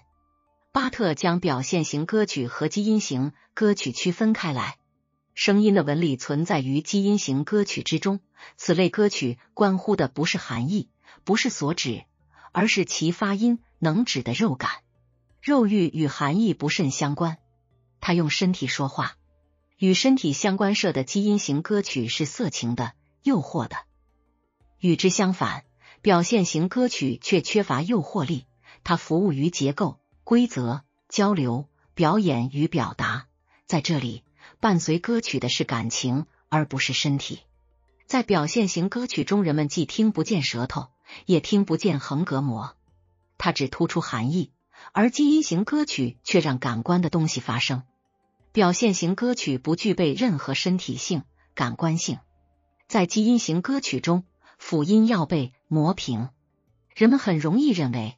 是辅音构成了我们的语言之骨架，人们总是要求把辅音发清楚、分开来、凸显出来，以使含义明确。然而，在基因型歌曲中，辅音仅变成那些令人赞叹的元音之跳板，元音栖身于肉感的身体之中，辅音则专注于含义。语言的真谛并不在于其功能、明晰、表达、交流，而在于其肉感与诱惑。诺瓦利斯也认为，辅音是为散文含义和实用性而存在的。辅音化意味着被阻碍、被限制、被束缚。辅音化的精神对未知者、神秘者、谜题的否定性感到陌生。相反，原音却是诱惑的、诗意的、浪漫的。辅音传不到远处，遥远的哲学听起来像诗歌，因为朝向远方的每一声呼唤都变成元音。如今，我们大抵生活在一个辅音化的时代，数字化的交际是一场辅音化的交际。它没有秘密、谜题和诗意。为了达成无差距、无距离化，他摒弃了远方。在静止与意志的作用下，精神机器内部发生了分裂，而这些分裂催生了声音。因此，一个精神病患者的回忆录的作者丹·保罗·史瑞伯觉得自己被声音跟踪，这些声音来自全然他处。史瑞伯口中谈及的是一种从另外一边发出的、使人想起超自然起源的声音交流。那些不断对他说话的声音被归为上帝所有。对我来说，这一直是一个不容辩驳的事实。即上帝每天每时每刻都通过说话的声音和奇迹来重新向我启示。史瑞伯借助交响乐、八音盒与口琴，为了在某些状况下淹没那些难以忍受的无聊杂音，使自己至少获得片刻的宁静。声音是一个亡灵，一个鬼魂。那些被排除、被抑制的东西会以声音的形式回归。否认和抑制的否定性是声音的根本，在声音中被抑制的精神内容又回来了。如今社会抑制与否认的否定性越来越让位于顺从与肯定，人们能听到的声音便越来越少了。与此相应，同志的噪声则与日俱增。声音通常代表了一个更高的审查机构，一种超越性，它从上方，从全然他处发生。这就是为什么道德经常用声音做隐喻。此外，声音中还包含着一种外在性。道德戒律的声音来自内心的外在。苏格拉底一再声称，听到的那些作为道德审查机构的警示之声，便是来自一个精灵，一个不可名状的他者。康德的理性也是伴着一种权威的声音而现身。所谓美德，就在于抗拒幸福喜悦。抗拒感官偏好，而全然听从道德律令，听从理性的声音和上帝的声音。这声音甚至使罪人也站立。在海德格尔那里，替代理性的声音这一说法的，则是良知的声音。他呼吁此在抓住最本己的能在。即便在此处，声音中也包含着一种外在性。在存在与时间中，海德格尔在某处出乎意料的论及朋友的声音。每一个此在都随身带着一个朋友。海德格尔认为，听这个朋友的声音，甚至构成此在对他最本己能在的首要的和本真的敞开状态。声音为何从朋友那里来？为什么海德格尔恰恰在谈及声音的时候呼唤那位朋友？朋友是他者，在这里，海德格尔需要用他者来赋予声音某种程度的超越性。海德格尔后期完全把声音打造成思考的媒介，思考直面一种声音，并让自己被声音定调、规定。这种听并不仅仅关乎耳朵，而且也同样关乎人对那种东西的归属。人的本质就是依照这种东西而被定调的，人始终是按照那种东西而被定调的，它的本质就是从这种东西而来被规定的。在这种规定中，人被一种声音触动和召唤。这种声音的冥想越是纯粹，它就越发无声无息的通过那些有声息的东西而隐约响起。声音来自外在，来自全然他者，思考所直面的全然他者。声音和目光充当媒介，在这媒介中，存在表现为存在者之他性，而存在却被其定调规定。因此，海德格尔谈到了声音和目光的同一性。作为对他者的向往，爱欲是思考的一部分。他性与对你的爱与我的别样思考不可分割，它是难以言说的。我称之为厄洛斯。用巴门尼德的话来说，这是最古老的神。每当我的思考迈出实质性的一步，每当我勇于行前所未行之事。都是那位神灵挥动羽翼，轻抚我身。思考必须听从他者的否定性，必须前往未知的领域，否则他就会沦为使同质化得以继续的积极手段。保罗·策兰也认为，从他者、从你处而来的声音，对文学作品来说至关重要。文学作品始于语言变得有声之处，以遭遇他者为开端。当人们思考诗歌时，人们会带着诗歌走上这样的路吗？这些路难道仅仅是迂回的路，是从你到你的冤枉路吗？但同时，在许多其他的道路中，他们也是语言变得有声之路，是遭遇，是声音通往一个感知着的你的道路。在数字化的回音室中，人们首先听到的是自己在说话，他者的声音日渐式微。如今，世界因为他者的缺席而声音渐悄。与你相反，他是没有声音的。他既不开口说话，也不睁眼凝视。日渐式微的相对，使世界悄然静默，目光全无。数字化的交际极度贫于目光和声音，连接和联网不需要目光和声音，它们区别于关系和遭遇，后者依赖于声音和目光。事实上，他们是声音与目光的特殊经验，他们是身体的经验。数字化媒体是去身体化的，它夺走了声音的纹理，夺走其身体性及胸腹腔、肌肉、横膈膜和喉咙软骨的深处。声音被平整化了，它变得透明，含义显而易见。它完全服务于所指。这种平滑的、缺乏身体感的、透明的声音。并不诱人，无法引起肉欲。诱惑力依赖于能指的盈满，这种盈满不可被削减至只剩下所指。它对准的是发音能指的肉感，这份肉感不表达任何含义，不传达任何信息。何处能指循环往复，却不受所指摆布，何处便生出诱人的魅力。直白的所指毫无魅力可言。动人之处在于包裹住含义的肌肤，秘密也不是什么被遮蔽、被掩盖、等待被揭开的所指，而是那不能被溶解于所指之中的能指盈满。秘密是不可被揭露的，可以说正是他自己遮蔽了自己。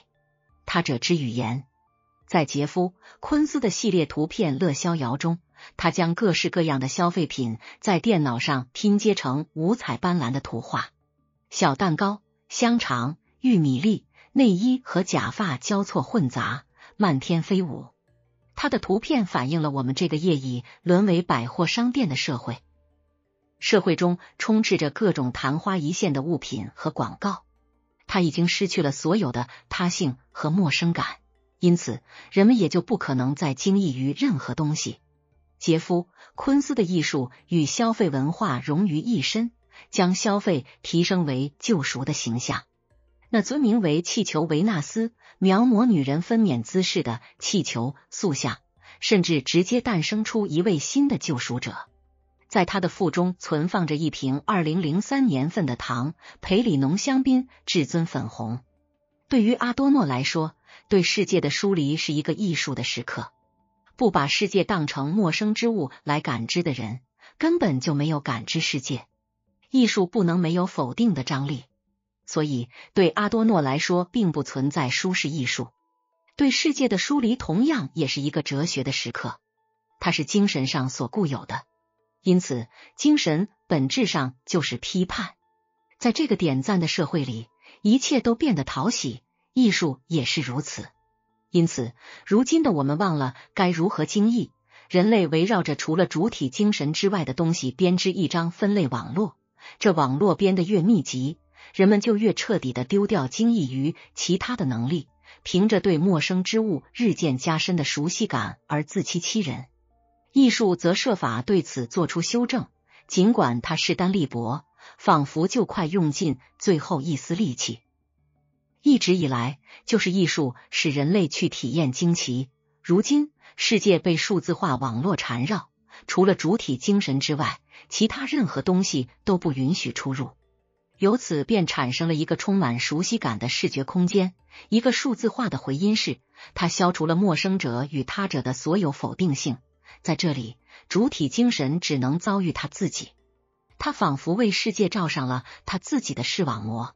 数字荧屏不容许惊异感存在。随着熟悉感的日益加深，所有能够滋养精神的潜在的惊奇感都消失了。艺术和哲学有义务拨乱反正，阻止对陌生之物、对不同于主体精神之物的揭秘行为，或者说有义务将他者从主体精神的分类网络中解放出来，将他那使人惊讶、诧异的他性交还给他。艺术的独到之处在于其谜题属性，通过这种谜题属性，艺术与行动客体那种毫无悬念的存在截然相对。而最终，艺术之谜也在其谜题属性中存续下去。行动客体是行动主体的产物，它不具备对事物感到惊异的能力。唯有平和的观察和有距离的切近，也就是遥远的切近，将事物从行动主体的束缚中解放出来。世间美好只展现给长久而沉思的目光。当行动主体悄然隐退。当他对客体的盲目压迫被打破之时，事物才能重获其他性、谜题属性、陌生感和神秘感。对策兰来说，艺术也同样保有茫然失所状态。它引发一场出走，从人类中出走，踏进一片面向人类的茫然失其所在的区域。艺术置身于茫然失所的家里，其中蕴含着它矛盾的存在。诗意的形象是别具一格的想象，这些想象一望而知是在熟悉者之面貌中包含着陌生者。诗歌中蕴含着一种黑暗，它证明了被守护在其中的陌生者的存在。这份黑暗属于为了一场相遇而来的诗歌，它来自一个或许是自己创造的远处或者异地。诗意的想象，文学的幻想，将陌生者想象成同者。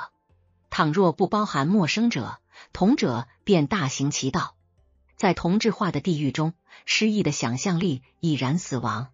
彼得·汉德克也援引策兰的话：“伟大的幻想飘然远走，却引出了具有瓦解力的包含。因为幻想中包含着陌生者，它便动摇了同者，动摇了名称的一致性。幻想渗透入我，将我转变为无人 B，并将。”我打造成说话者 C，作为不具名的谁也不是的说话者，诗人以全然他者的名义诉说着。艺术讲究超越自我，致力于艺术的人皆是忘我的。艺术打造了一个原我，他忘我的前往茫然失所，前往陌生之境。也许我只是问一下，也许诗歌也和艺术一般，与忘我的自我为伴，去到那茫然失所，那陌生之境。如今，我们不再是失意的栖居在这大地上，我们将自己安置在数字化的舒适区内。我们丝毫称不上无名或者忘我，在自我所居住的数字化网络中，所有的陌生、所有的茫然失所都消失不见了。数字秩序没有失意，在数字秩序之下，我们只是在同质化的数字空间里游移。如今的超交际意味着沉默与孤独的自由空间，只有在这样的空间里，人们才能道出那些真正值得被道出的东西。它抑制着语言，而沉默本质上也是一种语言。这种语言在寂静中浮现，失去了这种寂静，语言已然成了噪声。策兰曾说，诗歌中蕴含着一种对漠然的强烈偏好。交际噪声使人无法静静聆听。作为一项诗学原则，自然唯有在聆听的原始被动性中，才能展露真容。恰如海波里恩在大自然面前不断吟咏的诗句：“我整个身心沉默不语，静静聆听。”这漠然的身心，实际上是与听有关，而不是看。法国作家米歇尔·布托尔洞察了当代文学的危机。他将其看作一场精神危机。十到二十年来，文学领域几乎一片荒芜，寸草未生，出版物如潮水般涌现，精神世界却一片死寂。其原因就是一场交际危机。全新的交际手段固然令人赞叹，但他们却导致巨大的噪声。他者的无声之音在今日同者的喧嚣中死去。文坛危机的源头乃是他者的消失。诗歌与艺术在前往他者的途中，对他者的渴求是他们的本质特征。在题为《子午线》的演讲中，策兰明确的将诗歌和他者联系起来。我想，这从来就是诗歌的一种希望。以一个他物身份诉说，谁知道呢？也许是以一个全然他物的身份诉说。只有在与他者的遭遇之中，在遭遇的神秘之中，在面对一个相对之时，才会产生诗歌。诗歌想走向他者，他需要这个他者，他需要一个相对。诗歌探访他，向他倾诉心声。对于驶向他者的诗歌来说，每一物、每个人都是这个他者的一个形状，构成相对的。不仅是每个人，还有每一物。诗歌也呼唤物，在其他性中与之遭遇，和他建立一种对话式的关系。对诗歌来说，一切都以你的形式显现，作为他者而存在的相对，越来越从今天的感知和交际中消失了。相对愈发堕落为镜子，在他身上，人们照出自己，人们关注的焦点完全在自我身上。想必艺术和诗歌的职责就在于为感知去除镜面属性，使它向相对他者、他物开放。如今的焦点政治和焦点经济却将它对准自我，它服务于自我生产。人们愈发将其从他者身上剥离，将其引向自我。如今，我们为了成为被关注的焦点而无所不用其极，为了博取关注，我们彼此都成了橱窗。策兰的焦点诗学与当今的焦点经济相对立，他将注意力独独奉献给他者。注意力，请允许我在这里引用瓦尔特·本雅明关于卡夫卡的论文里马勒伯朗式的话：注意力是灵魂天性的祈祷，灵魂始终秉持着祈祷的姿态，他一直在追寻，他是对全然他者发出的声声呼请。列维纳斯也认为。注意力意味着以呼请他者为前提的意识盈满，表现的全神贯注，则意味着承认他者的掌控地位。如今，焦点经济恣意横生，既遮蔽了焦点诗学，也掩盖了焦点伦理。他出卖他者，揭露其隐秘。焦点经济将自我时间统一化，相反，焦点诗学却发掘出属于他者自己的最本己的时间，及他者时间。诗歌让他者身上最本己的部分和自己一起说，他的时间。诗歌寻求与他者对话，诗歌成为一位感知者，仍处在感知过程中的感知者的诗歌，与显现物相对而立者的诗歌，询问显现物并与之对谈者的诗歌。这诗歌成为对话，它通常是绝望的对话。诗歌以对话的形式发生。如今的交际是极度自恋的。它的发生完全没有你的存在，没有他者的呼请，而诗歌中却是我和你相互成就。只有在对话的空间里，所言说的内容才成立，才能聚集在那正在言说、正在指称着的我周围。然而，所言说的内容以及那通过指称仿佛已然成为你的东西，也带来其意志感。如今的交际不允许说出你，不允许呼唤他者。呼唤作为你的他者需要一种原始距离，而数字化交际恰恰致力于消除任何一种距离。如今，我们正试图借助数字媒体，尽可能的将他者拉向我们身边。此举非但没有使我们更贴近他者，反而使他者销声匿迹。此外，呼唤作为你的他者并非没有风险。人们必须得有心理准备，直面他者的意志性和陌生性。在他者身畔的种种，你时刻都没有任何安全保障。他们极度凶猛，他们挣脱了保险缰绳，所求者甚多，满足感寥寥。他们动摇了安全感，简直不可思议，又实在不可缺少。如今的交际却力求从他者那里排除那些你时刻，并将他们降格为他及同者的水平。他者之思考。做自己并不能简单的等于自由自在，自己也是压力和负担。做自己是把自己加在于自己身上。关于做自己的负担属性，伊曼努尔·列维纳斯这样写道：在心理学和人类学的描述中，他是这样被阐释的：这个我已经绑在他自己身上。我的自由并非如宽恕般轻飘飘，相反，它一直是很沉重的。这个我势必是一个自身反身代词 such soy 的意思是，这个我被用链子拴在一个负重的、沉重的、面貌极其相似的人身上。这个我被加在了一个重量，一个超重了的重量。只要我存在，就无法摆脱这个重量。这种存在的状态表现为疲劳。疲劳并非在于手辛苦地举起某种重量再放下之时。而是在于，就算松开手之后，那重量仍然附着于手掌之上。人们可以把抑郁看作自我之现代存在论上的一种病态发展。正如阿兰·埃亨伯格所说，它是自我疲劳。在新自由主义生产关系中，本体的负担无限加重，负担最大化的终极目标就是生产率最大化。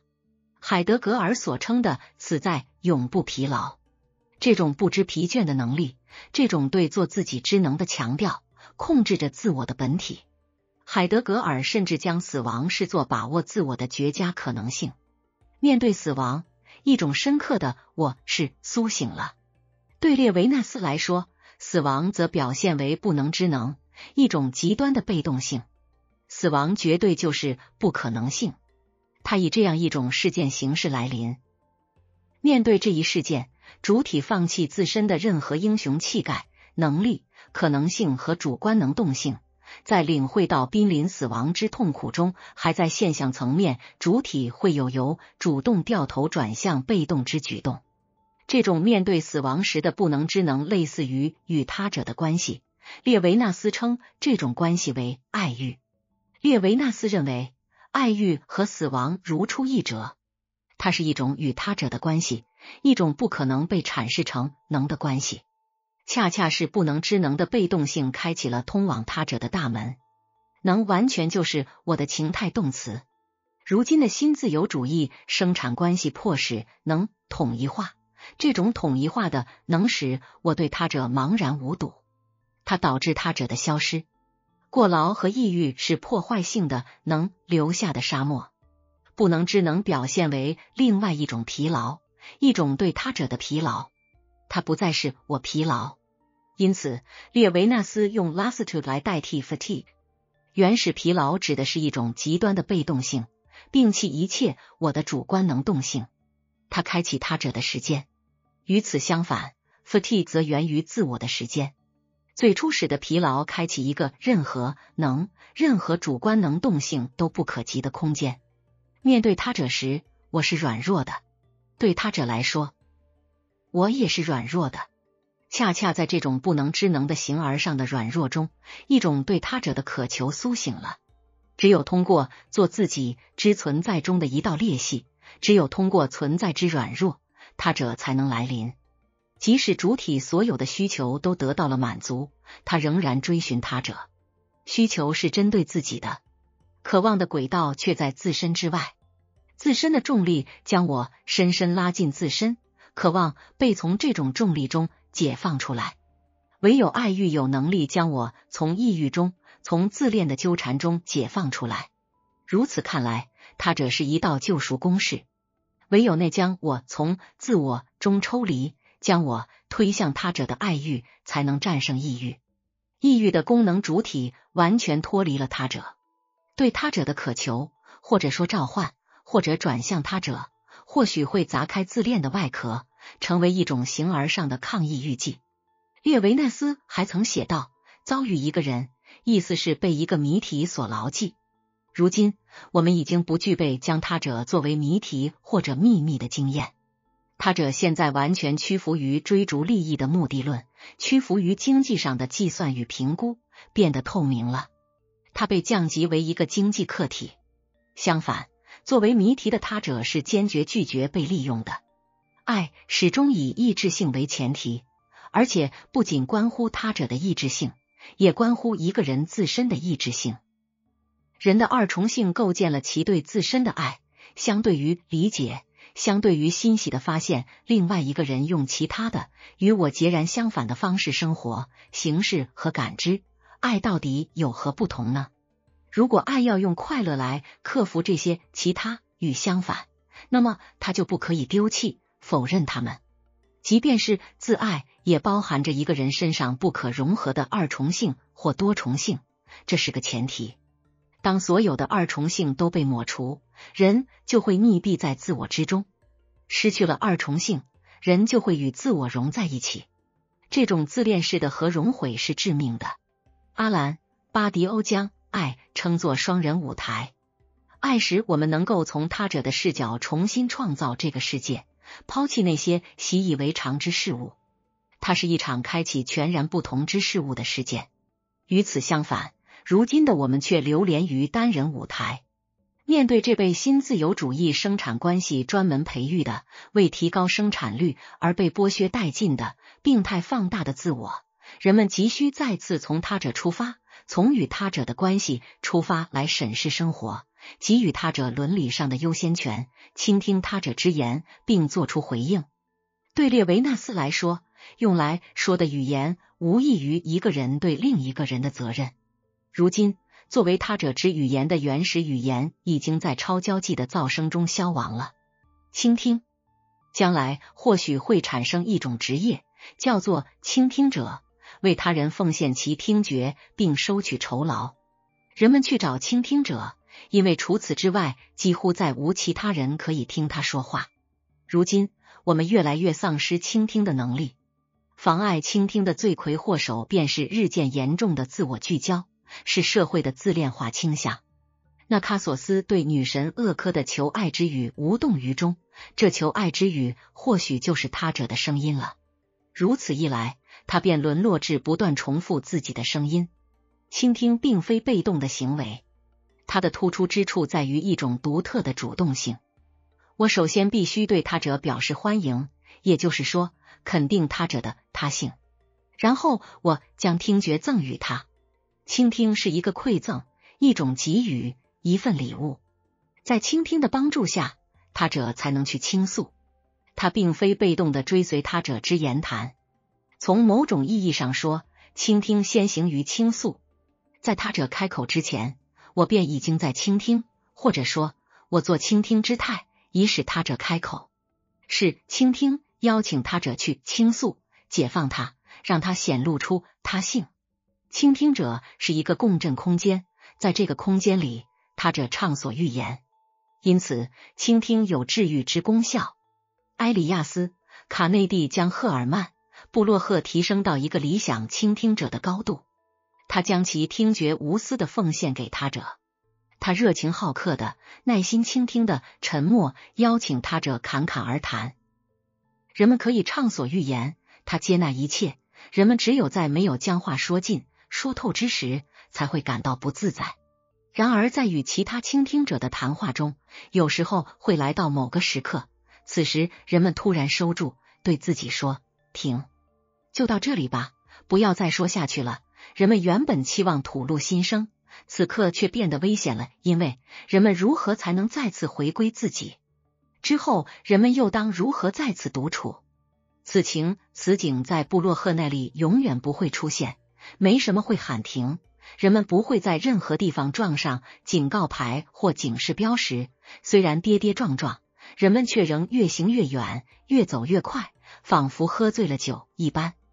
你会惊奇的领略到，一个人到底有多少话去谈论他自己。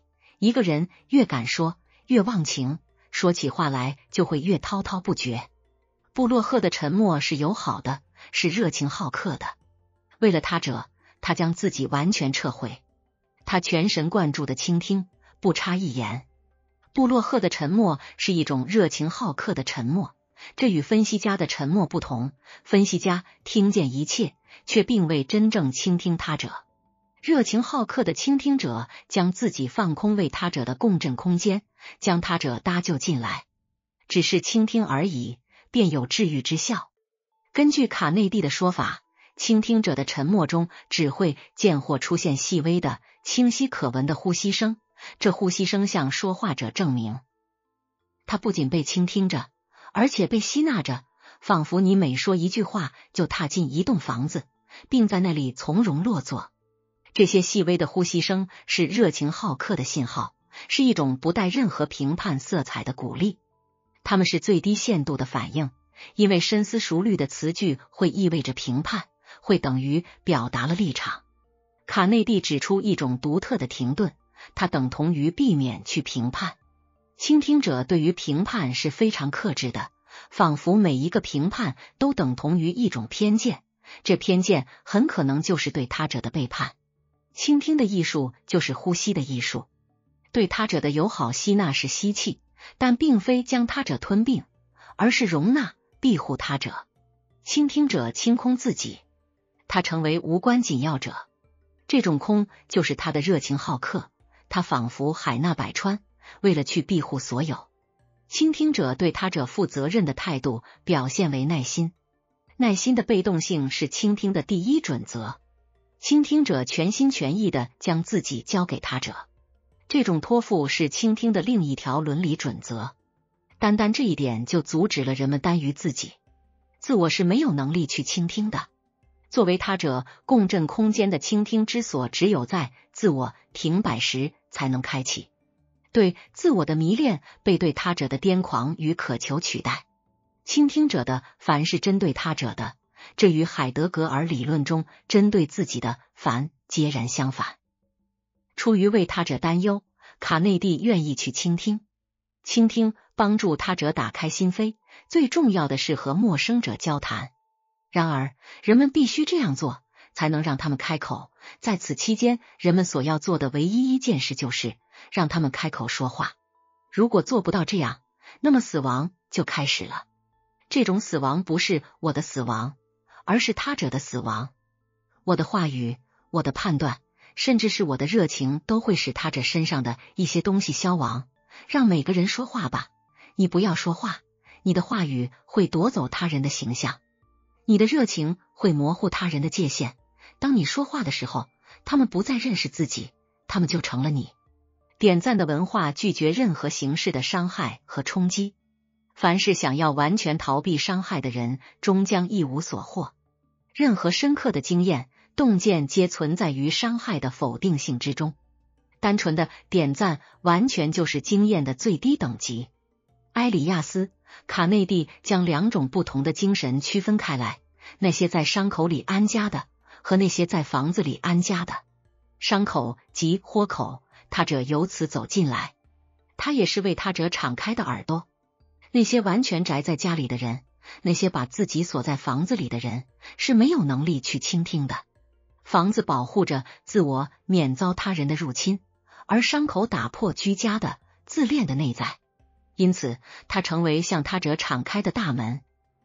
在同类的交际中，我们通常有一个具体的收件人，一个个人作为对象。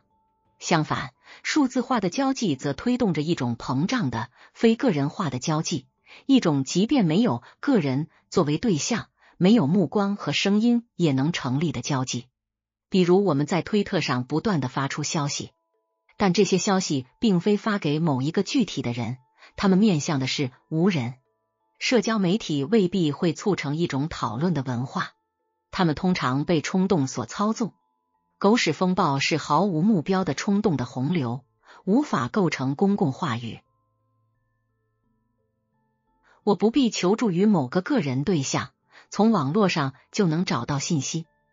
我也不必前往公共领域去获取信息或购买商品，而是让他们被送上门来。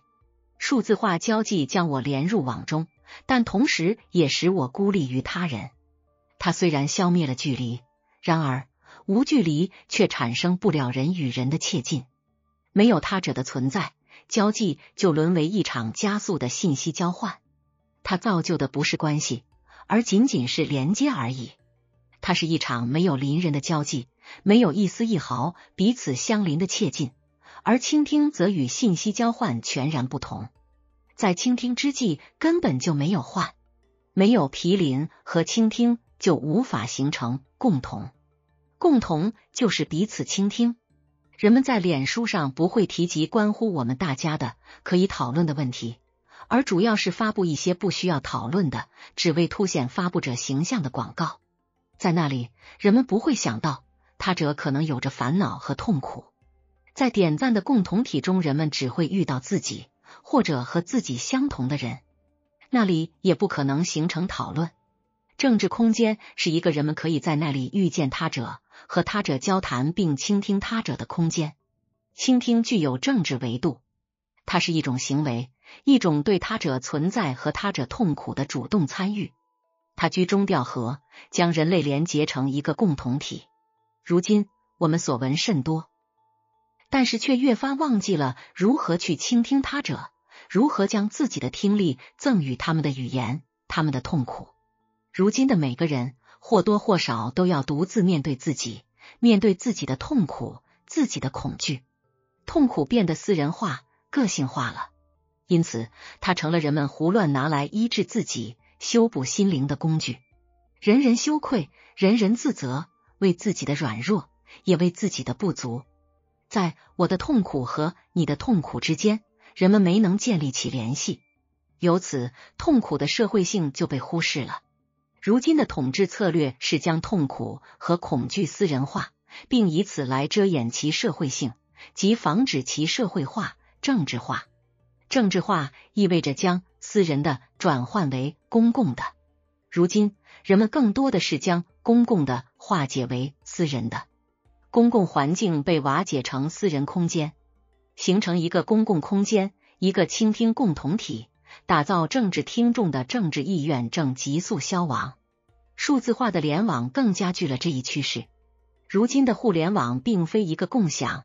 交流的空间，相反，它瓦解为一个个人们主要用来展览自我、宣传自我的空间。今日的互联网无异于一个属于孤立之自我的共振空间。宣传广告是不会倾听的。从米切尔·恩德的作品《毛毛》中，人们可以勾勒出一套倾听的伦理。小女孩毛毛的过人之处，首先是时间财富。时间是毛毛唯一富有之物。毛毛的时间是一种特别的时间，是他者的时间，即毛毛给予他者的时间。给予的方式就是他倾听他者诉说。人们对毛毛的倾听能力赞叹不已，他扮演着倾听者的角色。小毛毛能他人所不能，他会倾听。也许有些读者会说，这没什么特别呀，任谁都会倾听。其实不然，只有极少数人真正会倾听。像毛毛这般擅长此道者，那更是绝无仅有。毛毛就坐在那里听着，他的倾听效用如同奇迹。他带给人们的想法是人们自己永远想不到的。毛毛的倾听实际上让人回想起赫尔曼·布洛赫那热情好客的倾听，那解放他者自我的倾听。他毛毛用他那双漆黑的大眼睛望着对方，被这样望着的人感觉到。想法是如何在脑海中突然浮现？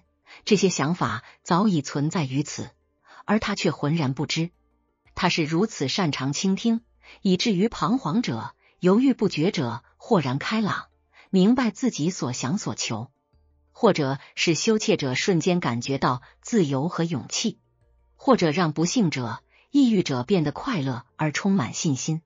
如果有人认为自己的人生完全是错误的，毫无意义的，自己只是数百万人中微不足道的，可以随时被替换掉的一个，就像替换一个坏了的锅一样。那么他去小毛毛那里，向他倾诉一切，随即甚至还在他倾诉的过程中，他就以一种神秘的方式突然明白自己这么想是大错特错，明白即使就是他现在的样子，他也是千万人当中独一无二的存在。因此，他对这个世界来说是重要的，以自己独特的方式。毛毛就是如此善于倾听啊！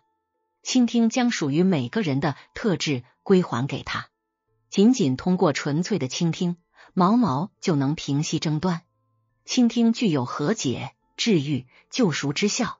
还有一次，一个小男孩将他那不愿意歌唱的金丝雀带到他面前。这对毛毛来说是比以往更为艰巨的任务，他不得不足足倾听了一周之久，直至他终于又开始婉转鸣唱。喧闹的倦怠社会听力全无。相比之下，未来的社会或可称为倾听者与聆听者的社会。如今，人们需要的是一场时间革命，开启一种完全不同的时间。当下正是需要再度发现他者时间的时候。如今的时间危机，并非自我时间的加速度，而是自我时间的统一化。他者的时间与效绩的增长逻辑南辕北辙，这种增长逻辑迫使人们不断加速。新自由主义的时间政策消除了他者的时间，对他来说，他者的时间是没有生产力的。自我时间的统一化伴随着生产的统一化，它触及当代生活的各个领域，并导致对人的全面剥削。新自由主义的时间政策同样也消除了节日和庆典的时间，因为他们也是与生产逻辑相违背的。本期视频内容就讲到这里，恭喜您又看完了一本书。别忘了给这期内容点赞，还有记得订阅我们的频道，以及时收听更多精彩好书。如果你对未来的视频有任何问题或建议，请在下面的评论中留言。感谢您的观看，我们将在下期视频中再会。